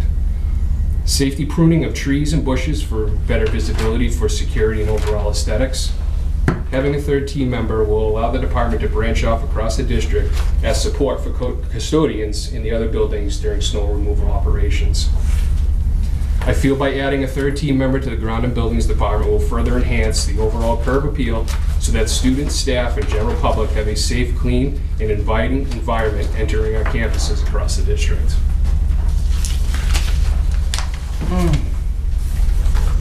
That'll also, it'll fall under the uh, UNC contract. Is, uh, are you, are you good? I'm good. All right. Um, I haven't even finished totaling up your, your, your, your, Do you have a calculator? no, I'm doing it manually just so it hurts more. Um, Let me just pick a couple pieces and then I'll turn it over to my friends on the school committee. Um, NRHS, under the scheduled maintenance projects, is that both or one of the major projects out there, the, the tank and the leach field? So on the scheduled maintenance um, sheet is the, um, that is the oil tank? Six hundred thousand dollars? No.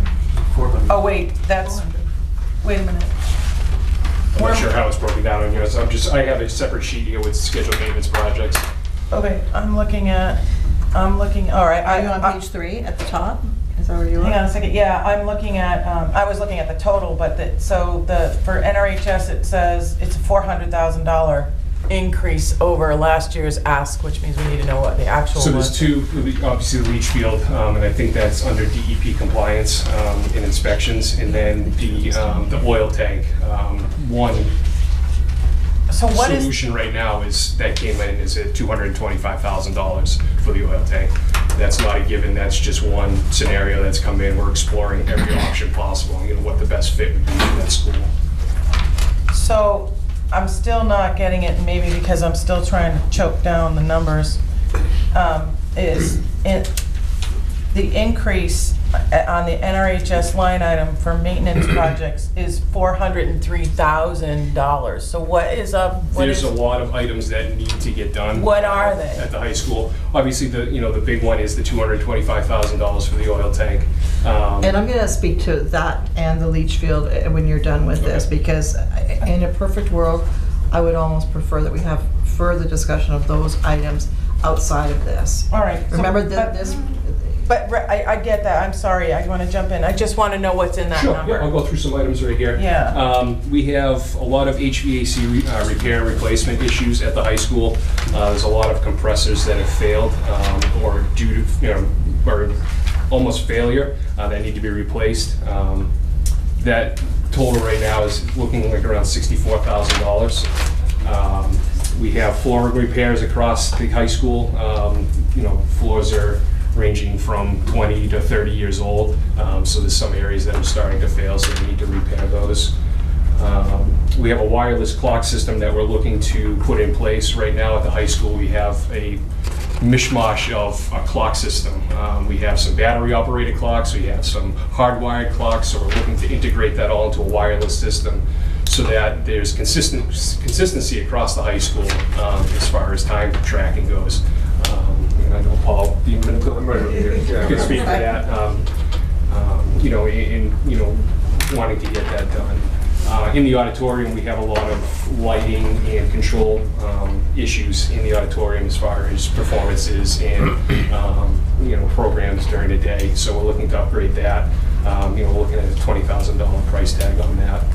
Um, We're looking to phase, we're gonna, have- it's gonna be a phased approach to upgrading the door hardware on the interior classrooms, all the interior doors, so that um, in a lockdown situation, staff does not have to go into the hallway to, to lock the doors, which they currently have to do. So you'll be able to lock it from inside the classroom and not put anybody in jeopardy in going inside the classroom. Um, That's probably gonna be around a seventy-five to hundred thousand dollar price tag, all said and done, um, but it's gonna be a phased out approach. Um, Upper gym um, needs to be resurfaced, it needs to be sa- sanded down to the bare hardwood uh, and resurfaced, which would include repainting all the lines. Um, Some of the lines that are currently there now don't meet the um, MIAA rules and regulations, Um, so those will all come up to code um, and then, re- um, you know, re- polyurethane put back down on top of that. Um, That's All pretty right. much what I have for the- the high school. So I think um, we're going to take questions, but I think I'm going to ask that we bring Rob back again. Um, You have a million dollars over last year's ask, which again doesn't really tell us, so we need that, the actuals. Uh, A million dollars is a lot now. I am not saying it's not valid. Um, I think what I'd love for you to come back with is to give us the, what we spent last year, what we're spending this year, and then just a page on priorities. Mm-hmm. Priorities broken out by safety constraints and needs, lo- those to me are non-negotiable. And then other non-negotiable, like we have no choice, DEP, and we should fix those things. And then anything that falls under that is below the line. Like nice and pretty, for me, is below the line. And I hope to God, we don't see next year nice and pretty. Not on you, on all of you, that we don't see nice and pretty after spending all this money, because we really need to focus on this year. Um, One of the things that I know is not gonna be a popular discussion, but I need to bring it up, is the vehicle. So, and I know you're gonna, you should feel free to speak to it. I, I worry about, uh, I, I know what the discussion point was a couple of years ago, and that was that if we had money left over at the end of the year, that we would take that money and apply it to new vehicles for the district every year, so that. One a year. So that we don't get ourselves in a tough spot. where we Um, were when I came in. Right, I, I understand that, but um, I, I am gonna really question the vehicle this year. I mean, last year, if it was, the floor was rotted out, well, that's, that's a problem. But if it's just, we just want to be evergreen, I, I, I want to hear more about the vehicle. Okay, and again, I- that probably would be at at a different discussion than right here, and- unless you want us to. s- What you is want us- it? The vehicle that we're proposing this year is uh, replacement of one of the transition vans for the transition program at the high school. Um, it- That program, I'm sure everybody knows what the program is. It takes the students and um, brings them out into the workplace so they can, after they graduate from high school, they can have, you know, Yeah. meaningful employment in, you know, in the community. Um, The one we're looking to replace is a 2006 Chevy Express van. Um, So we'll be upgrading that, you know, to a 2019, you know, with warranties and a much more reliable vehicle. Steve, you had a question? No, I just remember that last year we asked that they include the, the vehicle replacement schedule in, in the budget every year. That was last year, this, and I understand that, but that, but we, understand. we can't be held to previous committees. It's something we could do, continue to do, but I'm not, I'm, I question everything. And we all should question Yeah, everything. and that, that's, that's fine. I, I think this particular vehicle, though, I mean, it's about 16 years old, right? And it's, it's hauling our children. No, I mean, I get it, Brooke. I mean, that's not, that, that I'm not worried about, but I mean, just, that is why I asked, what is it? Oh, yeah, Why do no, we, why do absolutely. we think we need it? Because it shouldn't just be a, a rubber stamp. It should be, what is No, I it? Why do we need it? Yeah, I agree. Do we ever compare this to, um, maybe go through the bus company for these people? Because this is, this sounds like a consistent something. I mean, is it, do we have like a, the person that drives it, are they registered to drive it? Um, How do you answer that? Typically, um, what happens is they, they're based at the high school, and during the day, they go out and they have different things that they do, but they're based at the high school, so uh, to hire a bus to accommodate them during the day wouldn't be um, useful for them, So because it- they go out multiple times during It- the it- day. yeah. So, and, and the, I can't even imagine what that would be like to schedule, because it would, the- it, it will change every day. Well, and even if it was only Different six periods, thousand bucks a different, you know. year, six thousand times thirteen is, you know, over sixty, what is it, six, seventy-eight thousand dollars, and that's, you know, I'm assuming your line item is, includes other components, so it's probably cheaper Thirty, To thirty purchase it. thirty thousand dollars. and maintain it, and know that we're doing it. Uh, Eli, uh, uh, Elise, I'm sorry. That's okay. I feel a little bit silly asking questions about like like these little piddly amounts when we're we're talking about this you know the big four hundred thousand. Um, but just to clarify some of the places like for example landscaping you had three thousand last year and thirteen thousand. Is that because of a specific need that you know needs to happen in terms of landscaping? Is No, that it's just we're trying to improve the overall appeal of, of the, um, you know, of the campuses, you know, and it's, it kind of falls back on um, adding the third um, full-time employee to the grounds department to support that um, person in what they're going to be doing on a daily basis. And similar question about like the contracted plowing and sanding, that's gone up a bit from last year. Is Mhm. that because the services we pay for are more expensive, or is it because we're anticipate, we're trying to anticipate based on what we've spent this year? Yeah, t- and statistically, it seems like we come in around that hundred and twenty to hundred and thirty thousand dollar mark uh, every year for snow removal. Um, This year, we just, we just had a new contract going to, um, into place, a new three-year contract, and the price is because of salt prices, fuel prices, you know, the contract price has increased, so that's why you see, you know, an adjustment there. Michael? Um, so Rob, part of that uh, 403,000 jump, you said included um, HVAC ins- installation or repair at the high school. And I'm wondering how that compares to um, the HVAC and contracted services item on general repairs, which is also another 50,000.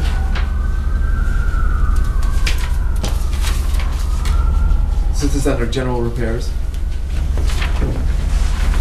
We're looking at the HVAC plumbing contract. Uh, HVAC and contracted services went from 25 to 75, right? So that's, that's based off of um, numbers year-to-date, what we've spent um, for repairs because things have failed. Um, What we're looking to do, sorry, go ahead. No, no, continue. Um, We look at, take a hard look at that number this year um, with, you know, replacement of some of these um, components that have failed that we've actually had to have contractors come out and diagnose, and that's reflective in a lot of these numbers.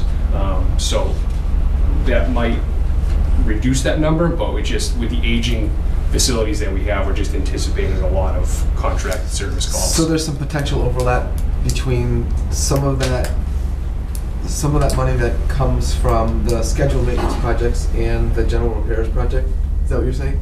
Yes, I believe. I would, I would, I don't know what you're, how do you define overlap? I want to make sure Well, that there's not so confusion on that. It's there's so basically there's HVAC twice, right? There's one at general repairs, and then there's one as what you said was part of the the high school scheduled maintenance projects. all right, that's a specific project at the high school. We know we have some Sixty-four units thousand that are in dollars of failure. things that need to get Okay, done. and so that's different from the Right, right. Okay. And this is The other just would be as if- repairs if- come up during Okay, the school I see. year, that's what that line item item is.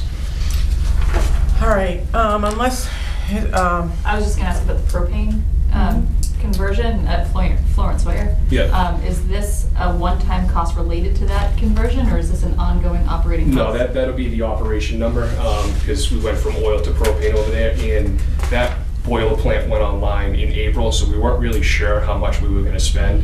And we've gone through a third of the year, and we're about thirty thousand dollars into propane for the, for that site. Um, so we're just trying to forecast, you know, what it's gonna cost to heat that building for the year. So, I, I, are we saying that, that we converted to a heating fuel that costs three times as much as the one we had? Is that fair to say, or no? No. No. Not at all. Um, at, at the Sawyer building, we, we have some additional ads that need to be put in place uh, in order for that new system to be, um, efficient. So we have a backup oil system in the school, not that we would have to use it, but, um, we have to anticipate that our costs aren't going to be fully realized until that, that full, um, conversion of that boiler has taken place. Okay, so this is still part of the conversion? Right, it's still part of the conversion. So do you really anticipate that the oil cost will stay the same? I, I would anticipate that they will go down, but there's no guarantee because the prices have been going up, and that's what we're up against at this point. so I think, unless there's some more burning, intense questions, I really think this deserves, thank you, but don't leave yet. Um, And again, criticism not on you, not on the administration, just this is a big, big nut. We absolutely need to see the um, actuals in this area. I think we also need to, um, we need to get tighter on the requested amount. Um, and I would think that even after we're done here today and you guys do your next iteration, like, I get it, big round numbers. You don't even have to reduce reduce your ask, but in the next time you come, those big round numbers need to be more real and reduce your ask. But there, we, we're working on that. I mean. That's you're fine, working but I mean, you can tell, I mean, we know, we get it, that's, that's how you're doing it, but we're just gonna ask that we're a little more focused for the next round. We have to remember too that we do have the, we do have the issues of the fuel tank and the leach field, which are half a million dollars altogether. Right, well, that's why he's gonna bring forward the, you know, the, pro- no, wait a minute, that's why he's gonna respond to that, and then we'll do this. That's why Rob's bringing forward the, what are our priorities for safety, and what are our other non-negotiable priorities, and then what falls below the line, so that's gonna happen. Go ahead, Lynn, I'm sorry. So those are gonna have to go to the town for vote, unless you, unless we're putting them into the budget to eat. No, oh. not at the high school, we own it. Yeah. Oh, oh, oh, No, for the, that's- for the, for the. That's yeah, exactly for where I was gonna go bond. when I had a moment. Thank you. You're welcome. Yeah. All right. All right, so I think we're good? Can I just finish Yeah, that thinking? absolutely. Okay, so, so to your point, that's exactly what's scary, and I, I wanna just say something to our staff, because I was the one who said, put those in the budget right now, because we have to show them somewhere. The Yeah. leaching field and the oil tank, because we have to do it. Yeah. Do I think, do I personally believe that they belong in here? No, I don't, I really don't. Um, but I think that's why I said, like, I mean, I would have asked Rob to come back anyway, I know that you do, but I would have, because I think that discussion has to be a broader discussion. Exactly to your point, these are huge projects. And what bothers me is I don't want to be in a position, I don't want to be in a position where I'm having to make cuts because of these two enormous juggernauts um, that are sitting out there that we have to deal with. Right. And so, you know, I want to be careful that we don't want to say, well, it- it's, you know, this area has grown a million dollars. Well, we've known all along that about a half a million of that was, was these two primary projects, right? So um, I do think, though, that we need to come back as a school committee and have some good discussion on best ways, and, and I think Pat can present a couple of options. We've talked about a number of different ways of trying to, to deal with this piece. So this is a much broader discussion than, than today. You know what I think we should do too is, um, so if we, and yeah, I get what you're saying, and I want a half of the, half of the million asked, but still, a half million dollars is a lot of money when you're looking at. Oh, for sure. Right, but so if you're gonna come back, that's one thing, but Brooke, maybe one of the things that would be really helpful too, is to get to Lancaster, because they were supposed to be the next host for Tri-Town. Uh-huh. And I think that would be a wonderful opportunity for us to get in front of all of the boards of selectmen and say, mm-hmm. look, here's the reality. Once we have an opinion, right? So you bring it to us, we have the discussion, we take that discussion to Tri-Town. Yeah, I agree. Does that work for everybody? Yeah, definitely. I think, yeah. So just so the public knows, I mean, leaching field and floating tank, you've been talking to the town managers on this. They know what's going on to the, They absolutely do. the May ballot. Yeah. Okay, thanks a lot. We'll see you soon. Thank you, Rob. Enjoy the rest of your weekend. Athletic, yay, bring me some athletics. Wait a second, where's the rug? Where's the carpet for the field? Who's got that? Me. Okay, thanks, Rob. 125,000? Just come on up. Oh my God, it's like, oh. I think it's me, that's Rob wants it. Rob, you want that one Rob, too? that one? What's that? Sorry. What? He said yes.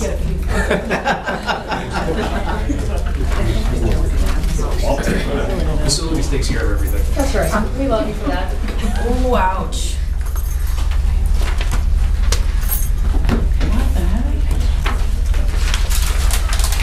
Hi, no, go ahead, I'm Okay. sorry, I'm just talking to myself as I'm looking. Well, first of all, I just want to thank you guys for your continued support because I don't think our program would be as successful without it. Um, Over the last year, um, we've continued to have success across all sports. 90% of our varsity teams have made uh, the postseason for playoffs. Um, We've won three Central Mass sectional championships in wrestling, field hockey, and football. Um, The teams have earned nine league titles and five sportsmanship awards. And then just this past fall, the uh, football team won the Division Four state title. So these are things that, it doesn't happen in, you know, everyday schools, and we've been on a, a great run right now, and I thank you for your support in allowing this to happen. Um, Some of our goals, um, we are still, we want to continue to maintain a competitive program um, across all of our sports. We want to provide opportunities for students and try to increase participation, even though we are, like I mentioned at the last meeting that I attended, we are seeing a discrete, a decrease in participation, but, you know, I want to keep giving the students opportunities in different sports to allow them to participate. And then we just continue to emphasize our leadership skills, academics, and our conduct on and off the playing field at all times. Now to kind of go into some of those non-salary requests and the budget drivers, I know a few of them look horrible. Um, The first one I want to talk about is transportation.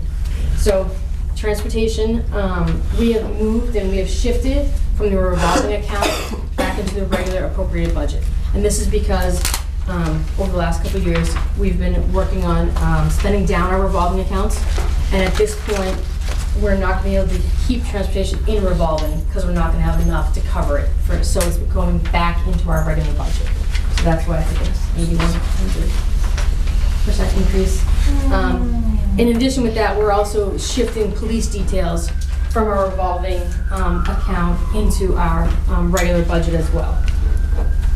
Um, As for our athletic supplies, some of the things that, you know, for next year are the uniform cycle, which, as I've explained, is, you know, every five years we work on getting new uniforms for varsity programs. And on the docket for next year is the boys and girls basketball teams, and then the cross-country, indoor track, and outdoor track um, uniforms. Also, you know, equipment is, we're purchasing equipment for high school and middle schools to make sure that the coaches and students have uh, the equipment to the ability to compete. And one thing too next year is, because of the new state regulation around AEDs, this past year, we had to purchase AEDs for all the middle schools and high schools because they have to have them in every site um, that we're playing on. And then next year, we have to replace all the pads. So that's something that, you know, moving forward between batteries and pads, there's always gonna be something to make sure that our AEDs are compliant. Um, one other thing under supplies is we're looking at a purchase a new pair of soccer goals. Um, we have um, one of our sets of soccer goals is 10 plus years old, and we've had to make some repairs over the last few years by hiring a welder and trying to put these goals and make sure they are put back together and safe. But at this point, I think as a safety concern, it's time to replace one set of goals so we're not calling a welder, we're not making repairs to it, and getting a new set. Um, and then the other thing that, not a huge thing, but um, I do want to add a new program for next year, and the new program is unified basketball. Um, this is a, you know, a program that will give our students another opportunity to participate, but it's also going to be specific where we're giving students in our life skills and transition program another opportunity to play a sport. Our unified track program has been excellent. Um, we have between 40 and 50 kids in that program every spring. And this past year, um, Special Olympics and the MIAA came together for a unified basketball program. We didn't join because you know, I didn't budget for it and we weren't ready. But after talking to other ADs in our league, because there's over 10 schools in our league that have it, they said that those events were the best events they hosted during the fall season. So this is something that I definitely want to, you know, jump on, add this opportunity. Um, it's a short schedule. It's about a month and a half long, and it'll give our kids another thing, you know, to participate in. So kind of the big things, and like I said, we do have some shifts um, across the budget, which is why a few things have um, increased. Why don't you talk about that so we don't have to ask our obnoxious questions? Are you Yep, talking about so the transportation component? Transportation has shifted, police details. Um, We have moved our officials from revolving to high school user fees for next year. Those are the three major shifts. So, you know what, Pat, in the transportation section, can you please put note in there, because it looks like all of a sudden we're paying for transportation where we didn't before? Okay. That would be, because I, I know that people do look at this, and I just want them to have the understanding before. I'm sorry, go ahead. Th- Those are the three major ones that we've moved. Transportation, police, and user, and uh, officials and the user fees. So talk to me about the carpet for the field, because that was one of my questions, is we, we put, we started a revolving account for, uh, to drop money into that account every year. What are, what is in there, what did we commit to, and, do you remember? Does anybody remember? I know we did. This is the first year that we budgeted for it. And what, And that would be, and you'll see the, um, where is it on here, do you know? it's in the admin section, which I will do. Oh, all right, I'll get to that. all right, so don't let me forget, because I want to Okay. know what that is, because I think that's really important to The continue to do stabilization that. fund you're talking Yeah, about. Exactly, I'm sorry, thanks for that. Okay, good. And then, um, can you just remind us what the percent participation of the student body is in any of the, I don't care what level of athletics it is? Total. Yes. So we average about 350 students per season. And it's right about 50, a little more than 50% of our student body participates in at least one sport. Okay, regardless of whether it's. Regardless of level Right. or what it is. Right, Yes. okay, so that's important for people to know. Mhm. Okay, and then the only question I have that kind of comes up here, but I'm gonna mention it, but then we can talk about it in the admin section, is a stipend review. I am not questioning the stipends themselves, I just need to have, and it's not your stipends, it's just, we've talked about this for years, right? We've talked about, what are we doing with stipends? If we could just take a look at what is the district, across the district doing with stipends, who, not individuals, but what types of positions are getting them? What is the, is there a point of view, do we have a, a, a process on what, or is it just kind of like dependent upon it? And we don't have to answer it now, I was but gonna say, I, that'll take, that'll take a whole session. that, that I think is something we need, and I don't know, and I'm asking you guys this, do we do this, you know, and if so, we're gonna end up moving something off, really off of a school committee meeting, do we look at that now? Do we look at that after the budget is approved, which I'm feeling much more comfortable with? And then after the budget season's done, we look at, okay, now let's look at stipends for next year's budget planning, but I think we need to look at stipends. What do you guys, what do you think? What do you guys think? I don't think I would touch it for this year. I think it's okay. I I would go forward whenever we, wherever we land in March, and then, then perhaps in April, you can t- pick it up and take a look at it. But you guys understand where I'm, I'm going with this? Are you in agreement? How do you feel about it? All right. Okay, so that's all my dribbling questions. Um, Who's got questions? Yep, Lynn. Oh, you know what, let me do Elise, thank you. Uh, Do you have questions? Mine's super quick because I remember talking about the dryer and laundry issues last year and you bringing home all the kids' Gross. uniforms and washing them. Um, so there's, which bless you. Um, Especially the bloody ones. so is this a, a last year we budgeted and then this this new one is for a, a new dryer somewhere else or is it to So, ha- so continue to because last year when I was working with the uh, facilities director, the quotes that came in, they were only for, like, let's go to Home Depot and pick up a washer dryer. Mhm. And so once I started talking to different companies, and actually Rob and I have been working, and we've had people come in, the quotes are a lot more than what we expected. So that's why we need industrial size for Right. our locker room area, um, and that's why there's a dryer in there. Okay, so they're never purchased. No. So this will be six thousand dollars to get what you need. It's actually twelve thousand for a new washer and dryer. Twelve thousand? Twelve thousand. Y'all need to go to Sears. Well, that's, oh, See, that's the problem. But that, that was the problem in the first place, is they went. Are they using, you're not using commercial ones? No, so right now we have just a regular washing machine and a Oh. dryer, but the dryer, the co- the heating coil isn't working, so to dry something it takes three or four. Do you want my dryer? I mean, I might as well give all my stuff away. Bring it on over. But that was I'd the like problem, to was our point out, first set of you know- quotes last year. and I was- They were not industrial size. right That's So why you did purchase something? No, last we're year. using our old stuff right now. So you. So it's this not 3,000 energy efficient either? No. So Tanya's still taking them home, half of them. I'm helping with my coach coaches that are helping me taking stuff home. It doesn't answer the question. So this three thousand dollars wasn't used, so you have that sitting there, and then you've got another three thousand dollars coming to go towards this twelve thousand dollars that you need for the washer dryer. Okay, because nothing was purchased last year. It's vi- currently right now. And we just, like I said, we just got quotes, I think, last week.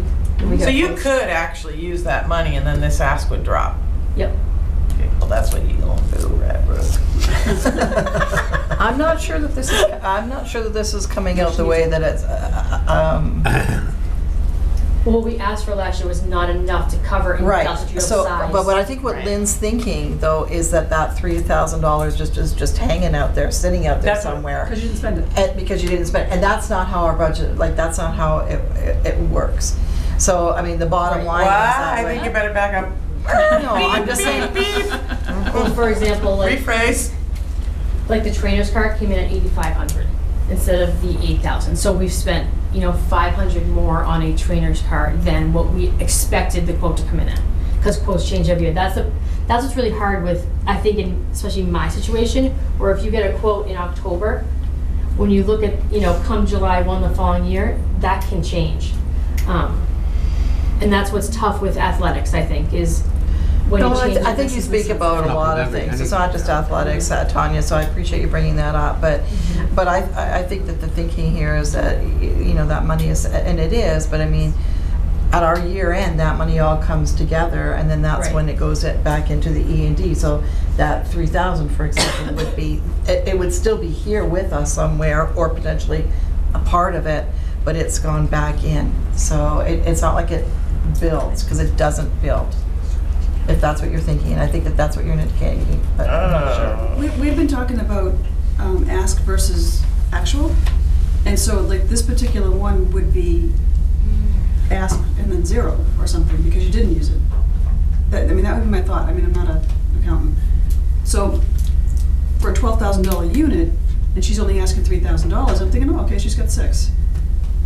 And she's got the half, the other half somewhere else. I have no idea, but that, I mean, that's where I'm going.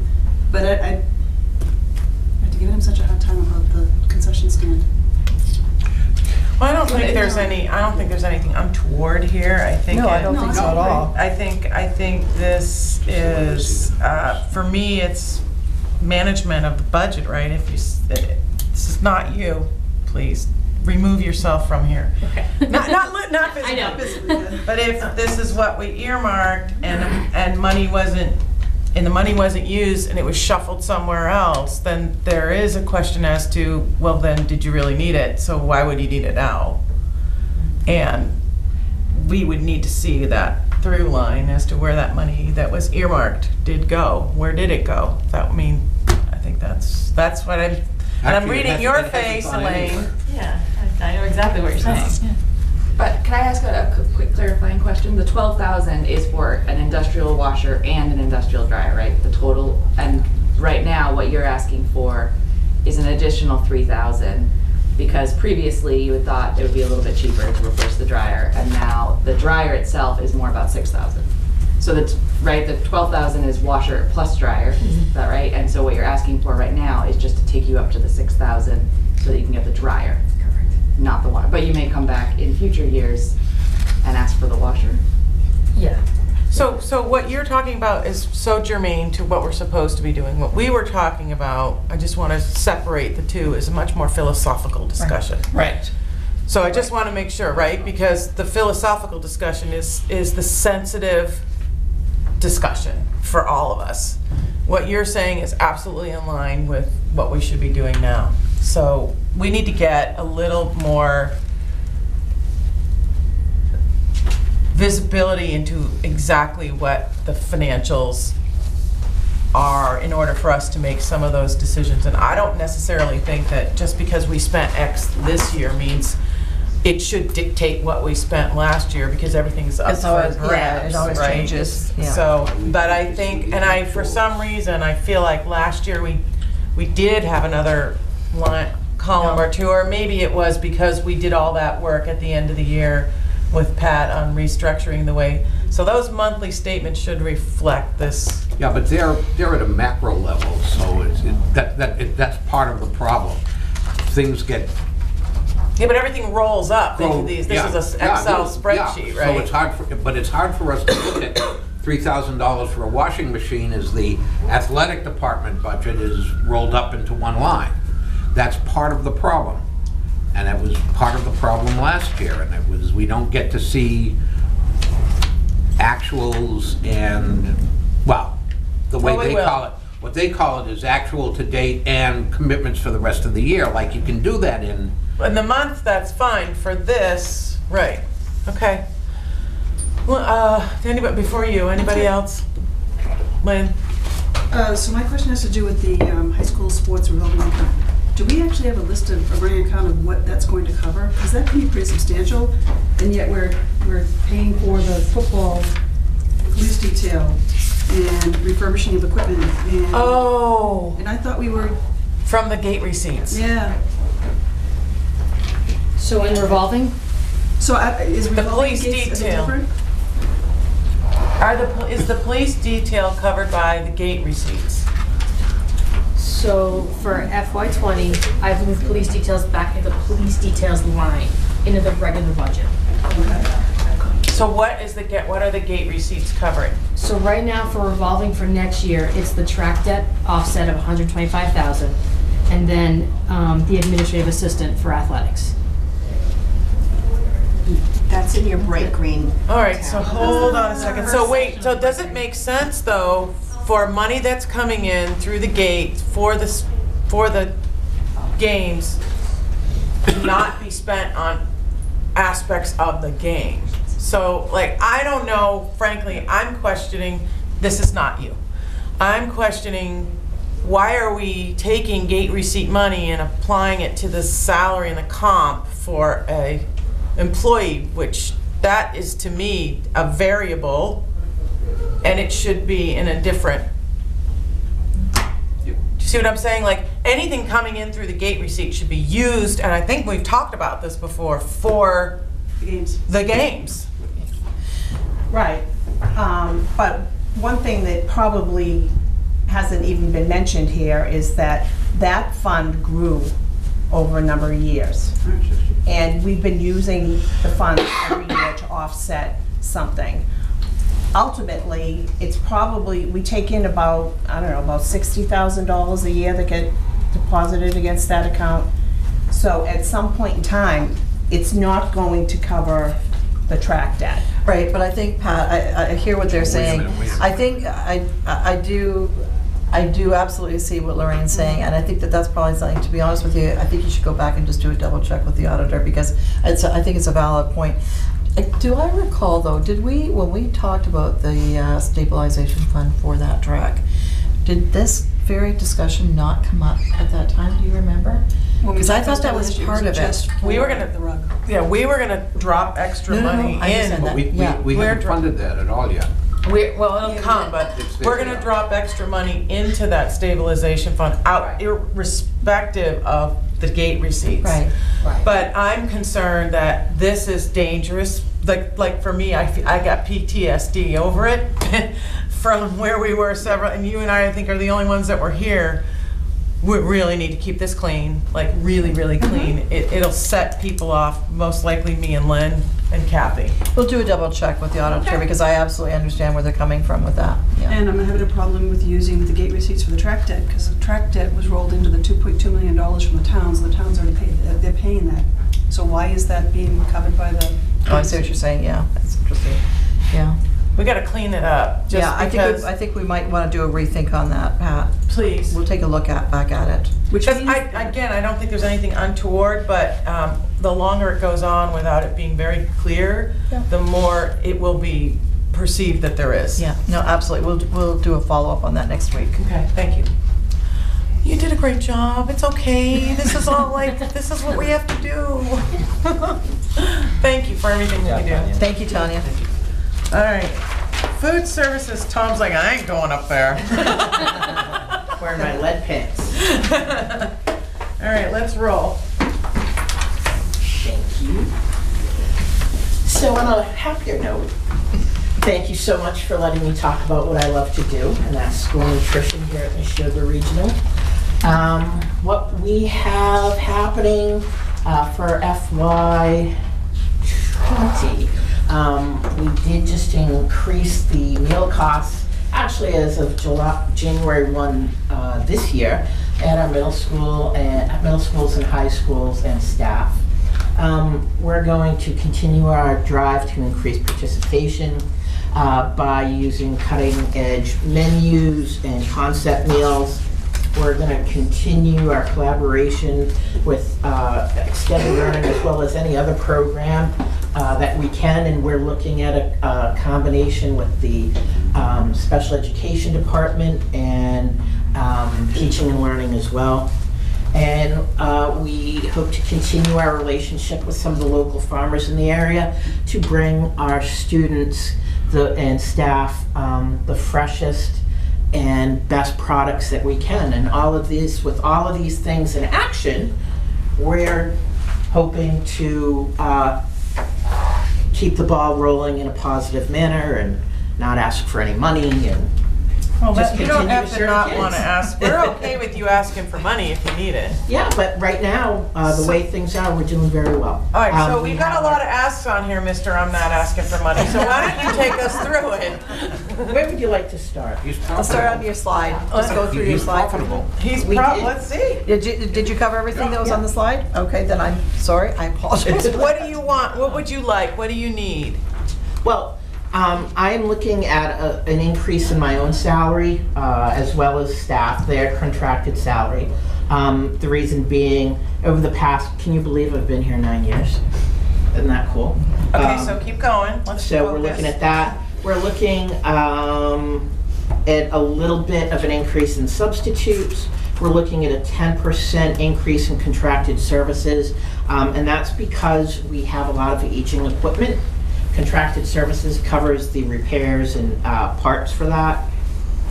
Uh, Provisions uh, went up approximately 2%, and that's the average. Uh, We have a 5% increase in um, supplies. That's because of uh, the tariffs and things that are going on uh, in politics.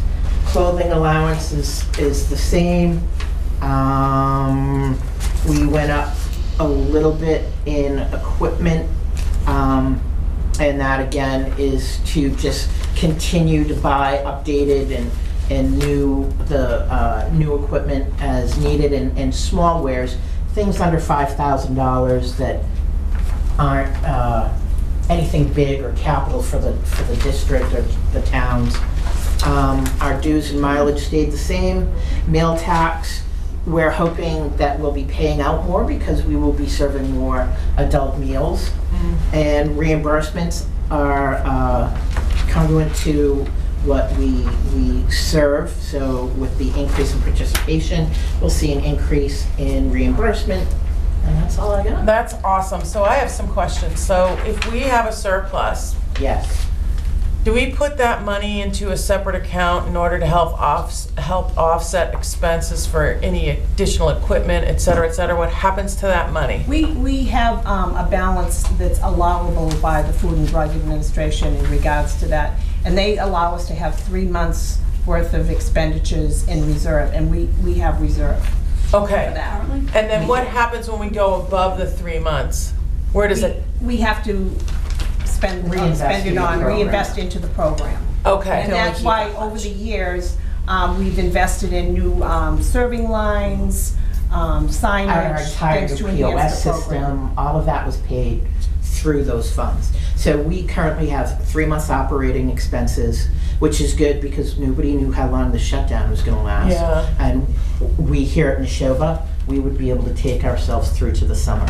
Um, and that's why you wanna have that three months. Anything over that has to be reinvested into the program. All right, well, nice job. Thank you. I hope we're listening to the, I know you do, so it's not a criticism. Why am I saying this, like defending myself all day long? But I hope you're listening to the kids and what they want, and what they're interested in. I do know, I do think that you're, I see things all over social media that you're very responsive to the parents, so I appreciate that as well. As, as much as possible. That, that's the fun part. Uh, we can, we can speak on many different things, and although they, they, they all have legitimate concerns, the best part is when, once it's explained and they understand it. Right. Right, knowledge. It's fantastic. Lynn? Uh, He's asking for a 2% increase in raises, and I'm just wondering, aren't they part of the union? Yeah, his, yeah, that's Yeah, right. So would this be an addition? No, no, no, it's not addition. So we need to take it That's just the increase that it would actually cost. It's not an increase. It's, it's a contracted or contractual. Then does it come out of your admin budget for increases, salary? No, it's, it's contractual. Oh, they're contracted versus employee. Got it. Yes. So sorry. Contracted versus employee. That makes sense. Okay, and so I'm looking at, so you're self-sustaining right now, you're, Yeah, he's Yes. getting surplus. Okay, that- that's fine, and So so. we can let him go. Let him go. No, he's perfect, I just want to ask Pat this. so Let you- him you go. can- You can keep three months in reserve, so do you currently have three months in reserve? Yeah, we just said that. So is that, is that the forty-eight thousand that I'm looking at, is that the, what the reserve we're talking about? No, about? this is the ask, Lynn. We're gonna get to that. That's, Okay, We're done with that. okay. okay. Have off with you, darling. Thank you. Thank you. Thank you, Tom. Great rest of the weekend. Thanks, Tom. You too. Moving on. Raina. Extended day. Raina, make it happen. Oh. Hello, everybody. I appreciate the opportunity to be here again. I was here twice before, so I've shared with you some information um, about our program and our improvements. So I'm going to do a little bit of um, repeat, but I'll try to keep it brief. So our goal for extended learning is, again, to continue offering a self-sustaining program that provides diverse enrichment opportunities and also supports social emotional learning. And our budget this year is level with last year, and it supports this goal. Um, As approved at my last, I think it was, yeah, the last time in front of the school committee, uh, we will be increasing our tuition by 3%. That'll be effective July 1, um, and that was reviewed prior. In terms of our enrollment, I wanted to um, share with you that we're about the same as last year, about 300 students. But what is different is we've experienced a 31% increase with kindergartners, um, which does definitely changes staff dynamics and programming it's a good thing. It's just, it's good to know that that's in fact a rea- reality. Um, To ensure we're meeting our goal, I did conduct, as promised to the school committee, a family parent survey, and that was done in January of this year. And I was very pleased. We got a 36% response rate, which is pretty significant. That's about 100 families out of the 300. And um, the key findings that I believe are important to note is that 90% of those who responded 90% rated our program either very high or extremely high in quality. There are a number of dimensions. Um, Families also rated our free, we do have, we did offer this year a few free performances, which everyone likes the free word, and that was rated very high. 43% of the families participated in our fee-based, multi-rich Richmond programs, which means 54% did not. I'd like to see that number go up. I'd like to see more families experiencing, giving their kids opportunities to spark interest. Another key insight was families at the Hale School, where we have our fourth and fifth graders, they would like more programs that are specific to that age group. Um, We did build a citizenship and connecting community program for those fourth and fifth graders, and we'll see how that plays out this year to see if we want to expand that for next year. Um, Some of our parents have been asking for a sixth grade to increase to include sixth grade. We haven't done that. We need to think about that a little bit more. That may impact how we move forward with um, the program. Families at the um, Mary Rowlandson Elementary School, they want more affordable programs. And by programs, I'm talking about the enrichment programs. And overall, the families want more, no surprise, STEM, sports, and I was glad to see this, cultural activities and Spanish. That was identified in the survey. So with this feedback, my submitted 2020 budget really shows just a slight increase in enrichment and contract services um, to continue to offer low-cost and high-quality programs that add value. I also want to continue to provide some of the free performances that we did this year, which was like the Saori weaving, math science, spectacular. Because what I've, what I've seen, and it's very evident to me in listening to the families, is that when their kids experience something that's exciting, that sparks interest, and it gets them more engaged and feel comfortable, then they might wish to take a chance and, and sign up for a multi-enrichment program. So one feeds into the other. Also, um, we did offer this year two different programs for our middle school children, which was feedback we got from the community. We offered yoga, which was well received. It was just a pilot program, and I'm rolling it out to all middle school students this spring. And we're piloting a woodworking course, which I'm really excited about. And that's starting in March. It's a lottery, it's a pilot, hoping that those programs get enough traction that I can see expanding them for next year. Is this, excuse me one second, is that, is that Bob from Bolton? And Patrick. Yes, Patrick, yes. yeah, awesome. So, um, I went Thank on you the for road with that. them this year, and it's been a lot of fun. The kids are excited, sixth, seventh, and eighth graders, particularly the sixth and seventh. In any event, um, this year for me has been a learning curve. I'm very excited. It is level spending, but I think that we've made the right decisions based on family feedback, student engagement, and the learning that we're, that I'm witnessing with my staff. Do you, um, do you, um, uh, surveys can be so obnoxious, but do you ask for feedback from families?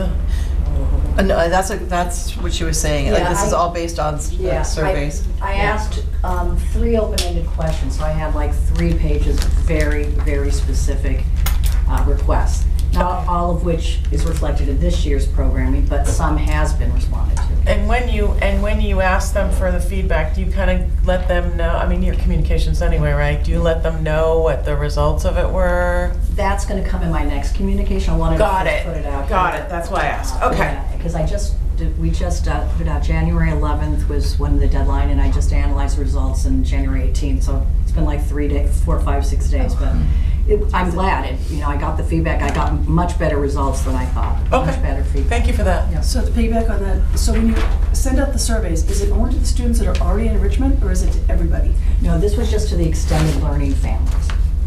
That was the commitment, yeah. Why would she, no, she's extended learning. Why would she do it beyond the Because- people she serves? Because I think that the, the kids that aren't in extended learning, the parents are unaware of what's going on in the program. I don't So know when if you that- ask them, Oh, when you no, I ask think for those what are two you different need, things. Yeah. Two different things. But we, our extended learning, our enrichment programs are just for the extended learning families, Yeah. other than the middle school. Um, and I did send out a separate question to the middle school parents, all middle school parents, sixth, seventh, and eighth graders, who aren't in extended learning, to say, would you like to have some programs? So That was a separate uh, dialogue. Okay. Any other questions? I know you serve, you wait for the last, best for the last. That's so- for last. You are the best. You and Tom get big old red uh, gold stars, and I don't want Rob to feel bad, or I don't want Tanya to feel bad. We love you both. It's fine. It's how it works. It's fine. It's not you personally. All right. Thank you. Thank you, Raina. Thanks, Rita. All righty. Anne Marie. Tanya, don't Marie or forget is it that. You coming up together? Yeah. Anne Marie. Awesome. Pat, all right, here we are. And now I'm gonna be quiet and let the superintendent run her. So.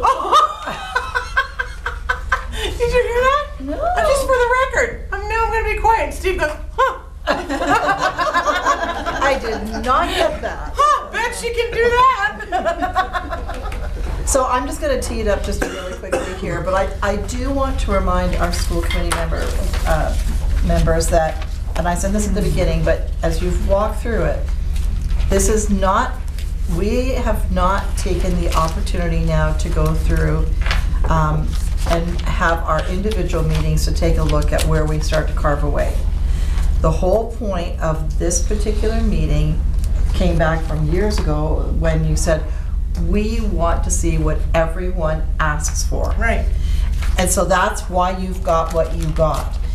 So please keep in mind that the, I mean, there's no way that, I'm not sure where this landed, because I know that it was a, is it around seven point? Seven point one. Seven point one, seven point two percent. There is no way that that is a feasible budget that we can move forward.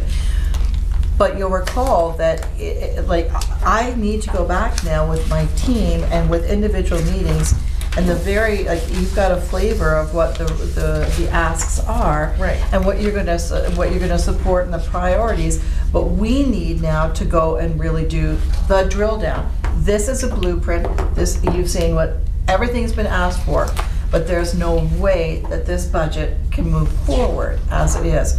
So I just really want to be clear, because that's when you'll start to see over the course of the next, like, not this next meeting, but probably the meeting thereafter, you'll start to see different iterations, which is what we've done in the past. We've brought forward and said, yeah, here are the areas we've made the cuts in already.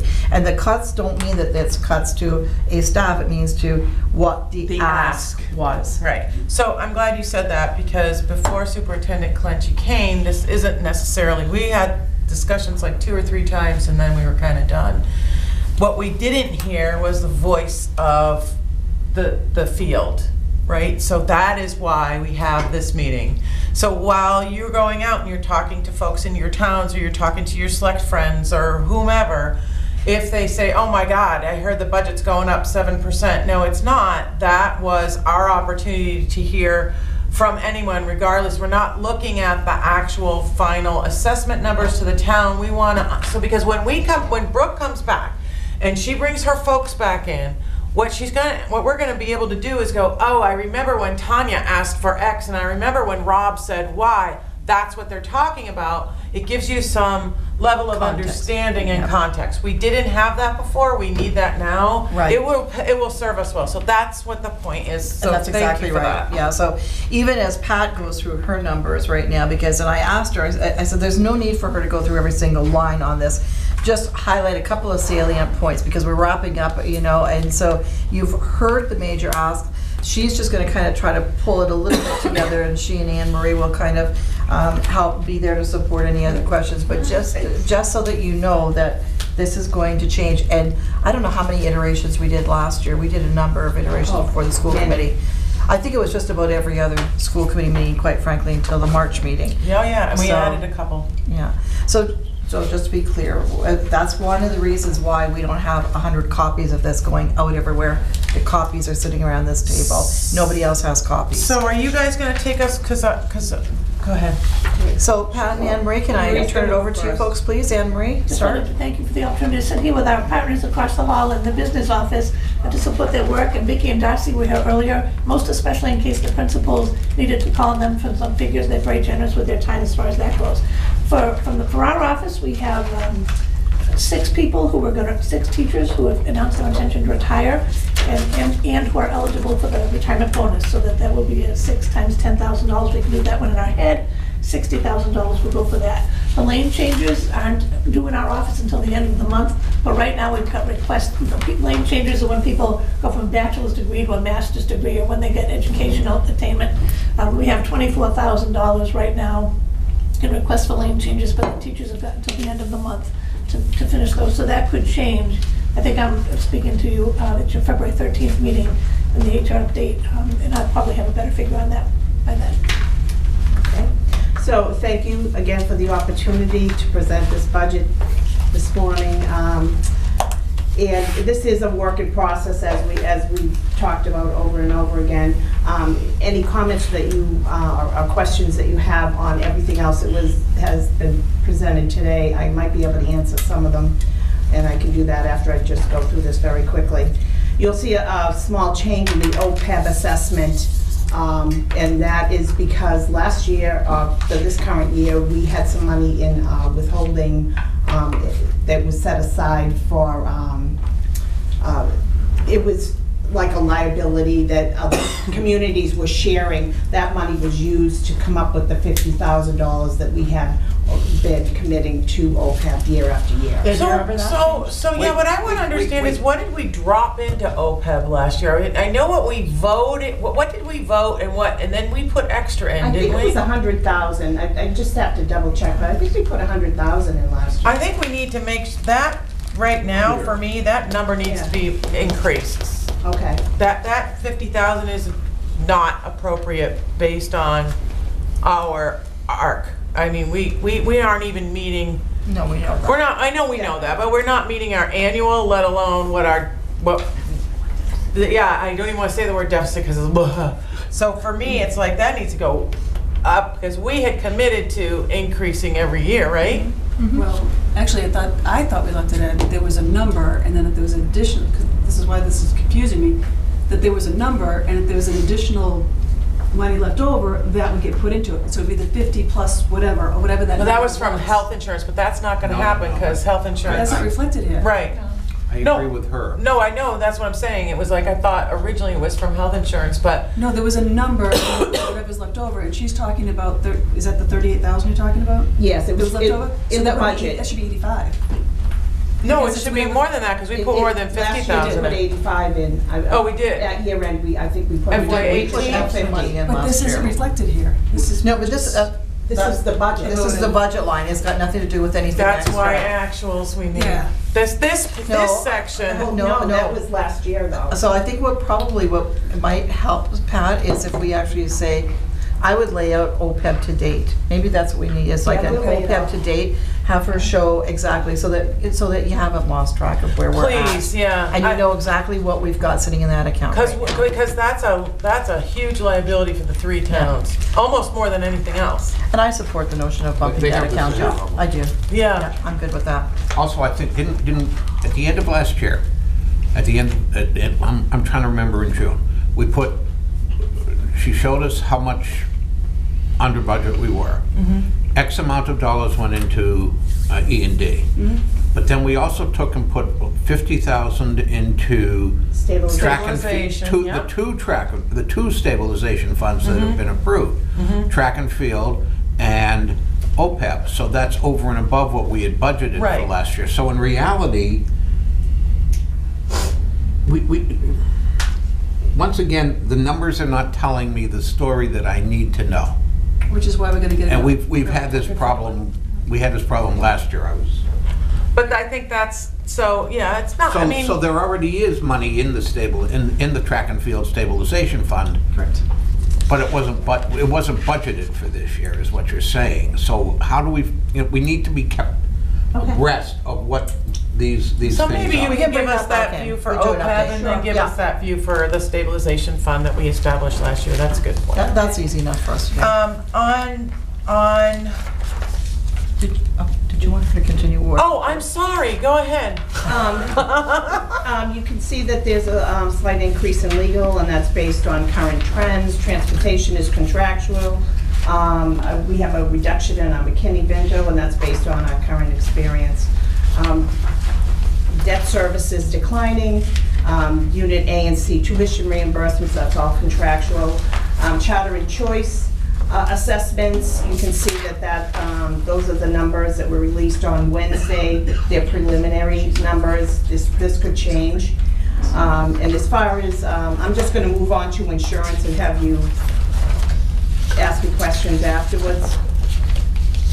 Unemployment costs um, have gone it has gone up because it's um, based on current trends.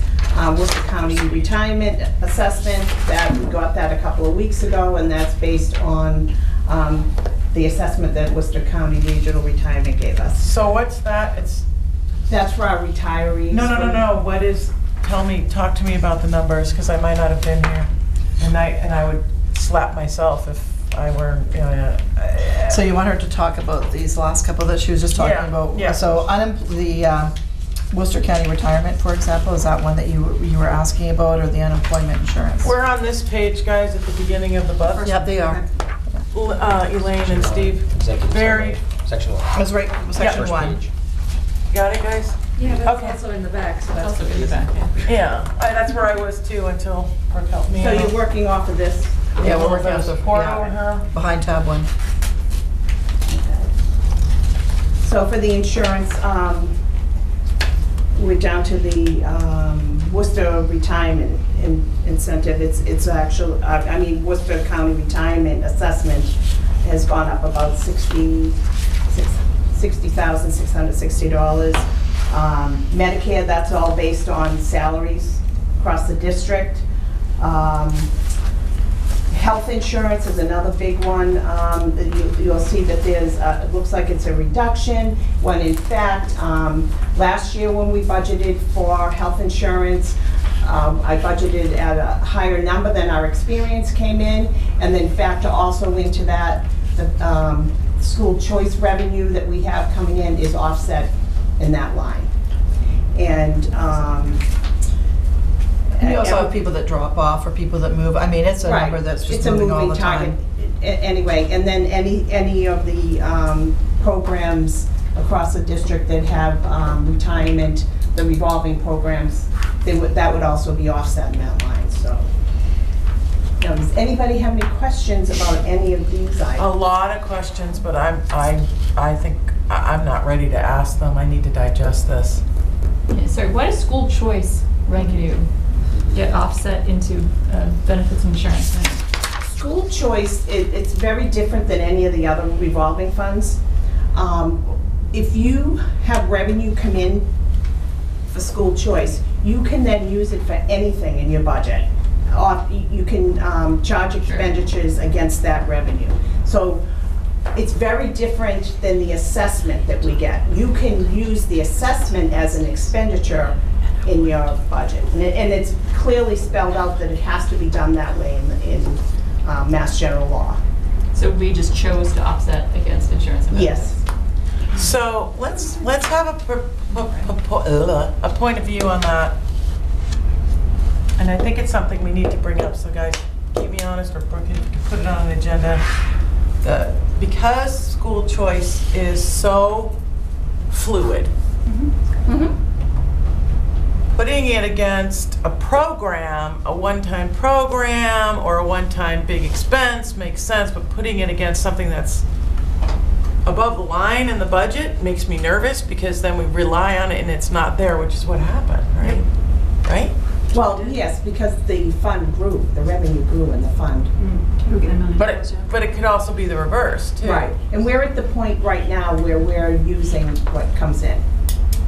Why aren't we offsetting it to the kids that are coming, that are choosing in? You know, versus the kids that are At, at some out? point in time, this is where we chose, and so just for consistency, we've stayed with that. You know, that makes sense, that first Yeah. and foremost, it should offset the kids that are leaving. I think, I think it's a really valid point, and I think this is another thing I would check with the auditors, because I know that that's past history, but I would take a look now and see if it's time to change that. Yeah, just So, make it, yeah. make Yeah, it its yeah. own responsibility. Yeah, I, I would agree. I think that it makes sense to do that too, Lynn. I mean, at the end of the day, it's all, it's all one anyway. It's just kind of where you move it. But I, yeah, I would check with. But it's Lance easier to and- track, it's easier. No, I totally agree. Right? No, not just this, but all of it, right? So Yeah, it's the like, health it makes insurance sense, even the gate receipt stuff. Poor Tanya's gonna be so upset, yeah. Um, so are we going to, I might have jumped ahead, we're just in, we're just in insurance. right We're gonna let Pat finish. Well, I finished, Oh, I she's finished with done. the insurance. All right, so what else? Questions? We have so many follow-up components here, right? And what you could do too, and I think you've done this before too, Lorraine, is you've had people send, que- because it's a lot to digest and to sit here inside of, you know, the four hours that we've been here. It's a lot for you to digest, so it's, oh, and especially for those of you in your first like year or two, I mean, for those of you a little bit more seasoned on the school Oh, actually, you're used to no- seeing this. No, this is, this is more information than we've ever had. Yeah, thank you. No, I'm serious, this appreciate makes more sense to me than ever did. Yeah. Um, but did you get down to legal? Or was it just? No, we're Oh, not there. yeah. I went past that. All right, well, we're gonna go back. We didn't talk about legal. Yeah. We want to talk, let's talk about legal, because, um, let's go to that, because you know what, I'm glad you said that, because I saw it and I circled it. And go back up there, where is it? It's on the first page. Anne Marie's? Yeah. No, we're on, yeah, we're all looking at this. I'm looking at this one though, because it's easier It for popped me. out on this one, I- yeah. My, my brain can't absorb. So our voted budget for FY nineteen for legal services was sixty thousand. What was our, well, we don't know what our actual was, but what is it year to date? Do you know? Um, Maybe right now. All right, so while she's looking that up, because then we're increasing it to seventy-five thousand, which still seems conservative to me.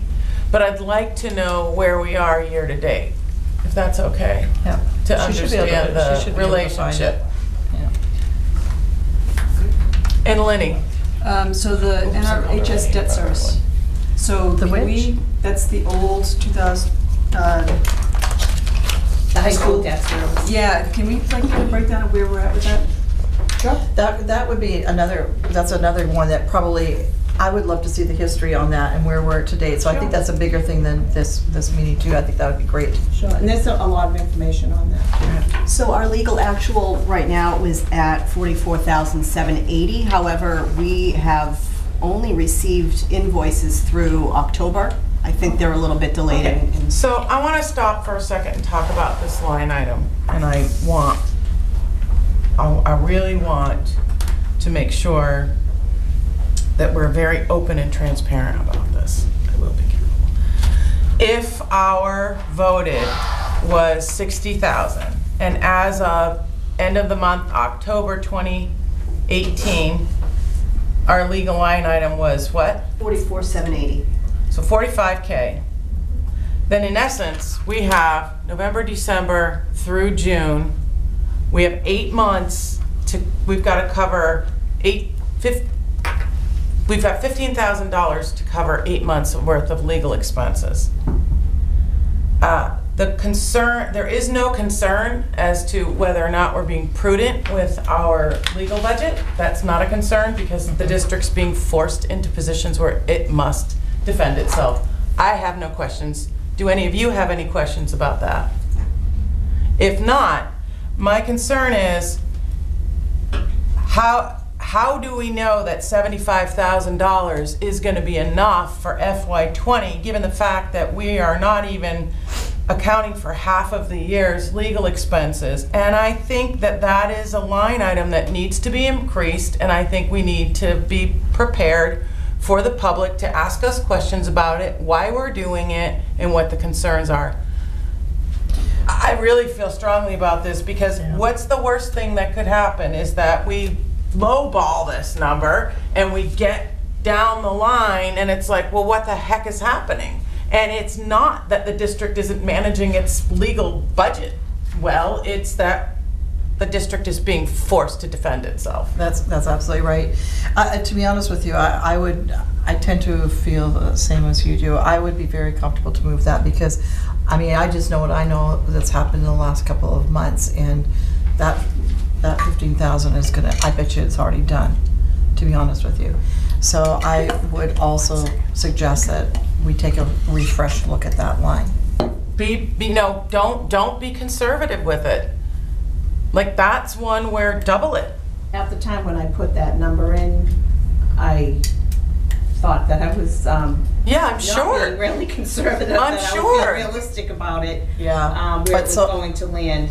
But we've had a based number, on of- what yeah, has just come in. yeah, exactly. Yeah. Right, and if, and if it looks like things are going to alter course, then, you know, you can reduce that later on, right? Yeah, I, I would completely agree with you. I really think that we need to go back and have another, another look at that line.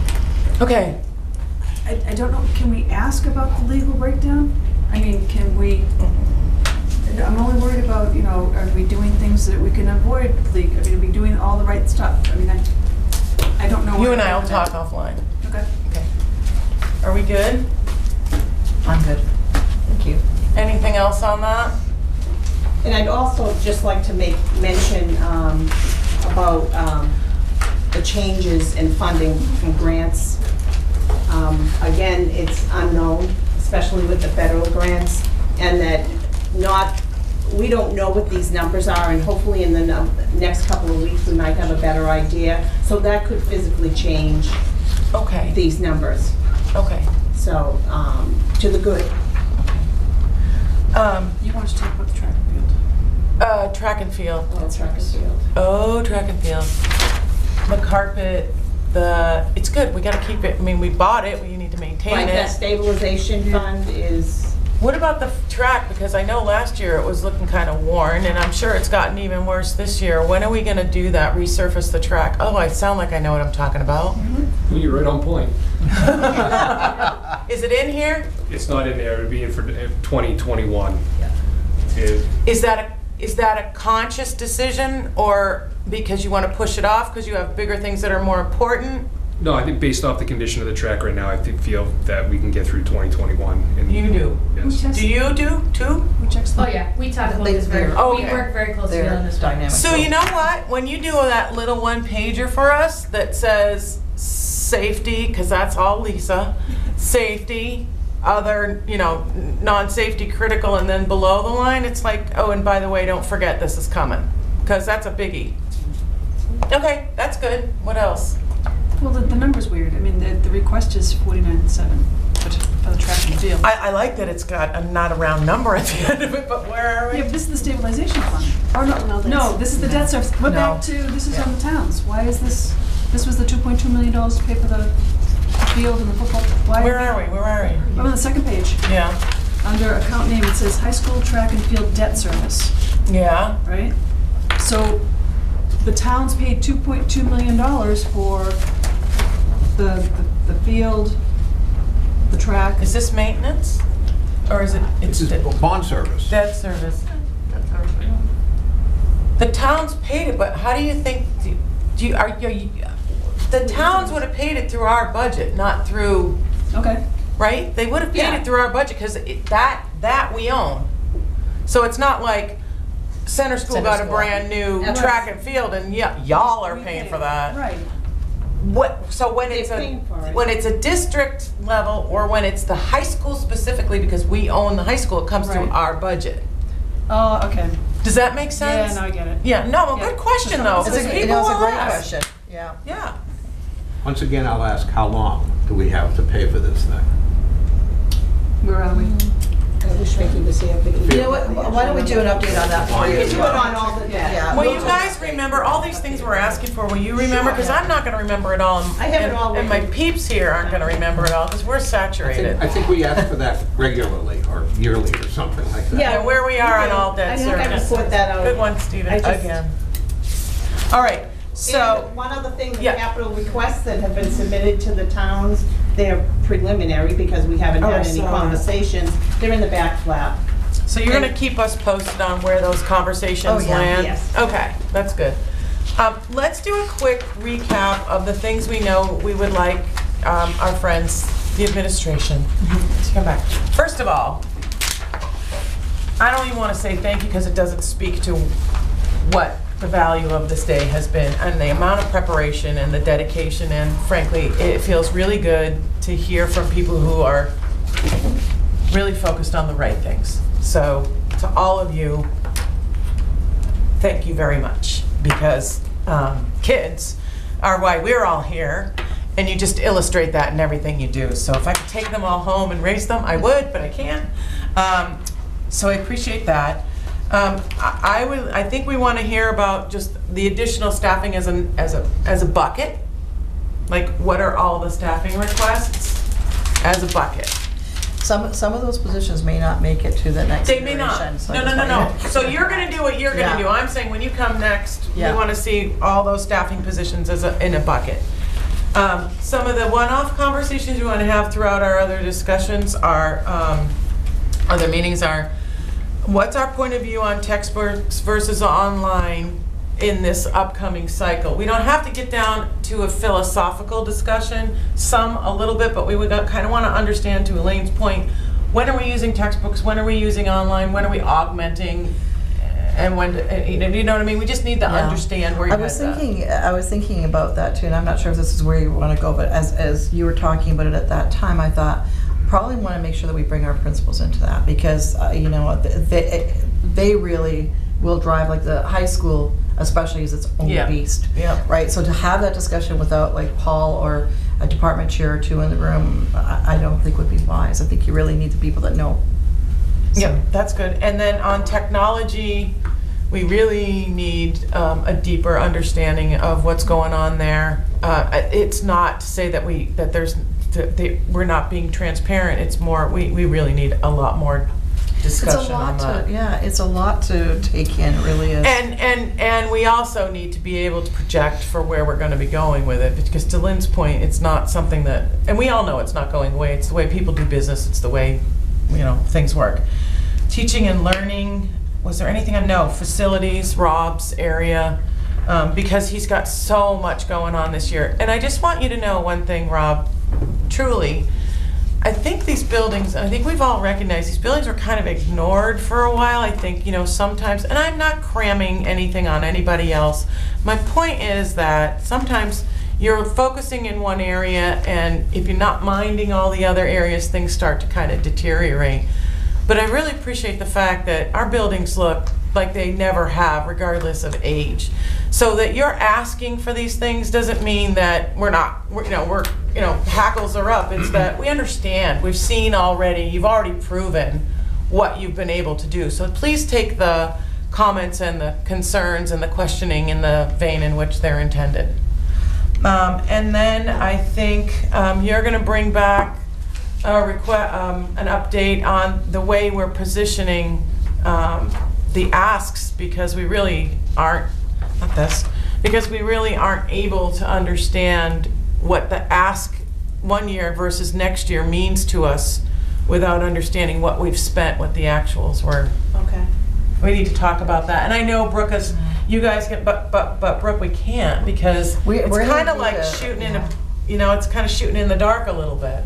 We need to, uh, this is gonna take us some time to think through and, and plan, because the work, especially during, like, especially now, I mean, when you take a look at the fact that we have to have this all wrapped up in the next month. I would say, why don't you, why don't you take a look at what you can get done? Yeah. You know what, I mean, it, it, it- it's not just for the school committee, it's for the broader, Right, no, I understand, and I think that, you know, I hear certainly about technology, I hear about facilities and such, I think that, that's what I'm saying, I think we, we need to go do back and pieces. take, yeah, there are pieces here that I absolutely, I'm not disagreeing with Steve at all, uh, I think we just need to go back and think it through so that it, it makes sense. Well, why don't you start with those areas we've identified, Mhm. and then, um, you know, know that that's probably where we need to be for next year, right? We, I mean. Right, because we have to rebuild our budget document in order to insert something. Understood. Yeah. And I think though, major. if we're presenting data one way monthly, it should be presented quarterly and annually in a similar vein so that there is that,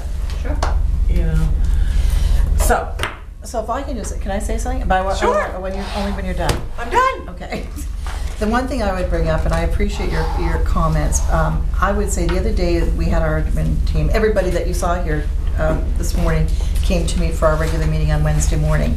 And we started the meeting by saying, because we had a couple new folks that were going to be coming presenting for the first time, like Raina and Lisa, who said, I'd barely gotten my feet wet, I really didn't know what I was doing, and, you know, and here she Did said a she did a great great job job. this morning, you know. And so we started that meeting by saying, okay, for those of you who are a little more seasoned, what are things that you would bring to the table? And it may have even been Rob, now that you're sitting here, so I'm, here I'm gonna say this, and it may even use it, so that, but I, so the various comments would come through, like, make sure you're clear, make sure you're succinct, watch your time, you know, be informed, be, you know, so as we, were kind of talking through, a couple of them role played and said, well, shall I say this? No, that's probably not the best way of saying it, you should, you know, but I think it was uh, Rob or somebody else, might have been Rob, that said, and keep in mind that they're here to support us. That school committee is here to support us, they're here to work in partnership with us. And so when they come to the table, like, uh, you know, the, the, the first group, when Ross started, and then Laura said, you know, how much we appreciate the support of this school committee, I cannot, I cannot stress that enough, how much our administrative team so respects this committee and so appreciates the level of support that we receive. So I- they worked really, really hard for this, and I'm really, really proud of everybody that presented. You all did a great job. Um, But I want to thank our school committee for asking the questions. We are okay. And if, when you take this home and, and you're looking over it, and if you find something that doesn't make sense to you, or what, le- just rifle it back to I memory. am That's not what she- going home and looking through this. that's what she said last time. You know, if you've got questions, rifle them all to Right. her and she'll rifle them all to us. Or if we find something that doesn't make sense, let us know. So that we, we continue to work to be better at our craft. And so I feel better even like this year, and we said even our process this year was much smoother than any other year we've been in. But Pat and I still know that we're still tweaking and this goes back to the forensic audit, we're still making changes. Some of the changes that are in here, quite frankly, are based on the audit. But then you had a couple of things come today, thought, didn't think of that, you're absolutely right. We'll go back and talk to the auditor about that. I mean, it just makes us better, Yeah. it makes us stronger. I lo, I was really looking forward to today, I really was. Uh, No. I'm sorry, but I was. I, it just, it, it just gives you such a beautiful view of this school district, which is an amazing school district. So that's it. Thank you. All right, guys. Anne Marie, Thank Pat, you all. You so much. And that staff page is, Oh, It's right there. Oh, Here's what all they got. We need to go through that at our next school committee meeting, or, It's just a quick snapshot, and it's not even as long as last year's. but Brooke's gonna do her magic. We've not adjourned, excuse me, we haven't, did we have to adjourn or anything? or no? Yeah. No workshop. Yeah, It's it's a workshop, so we don't workshop, need but to. we opened it, but- Yeah, you still have to adjourn. We need to, we need Yeah, to we do. close the meeting. So can I have a, nice of you to just take off, big No, I brother. don't have Y'all need to stay and do the job. All right, uh, motion to adjourn. So moved. Lynn did it and Steve did Second. it. I'm not even gonna ask for the vote, I'm just gonna make us da-na-na. All those in favor? It's unanimous. Thank you, everyone. Thank you, everyone. Thank you. Remember that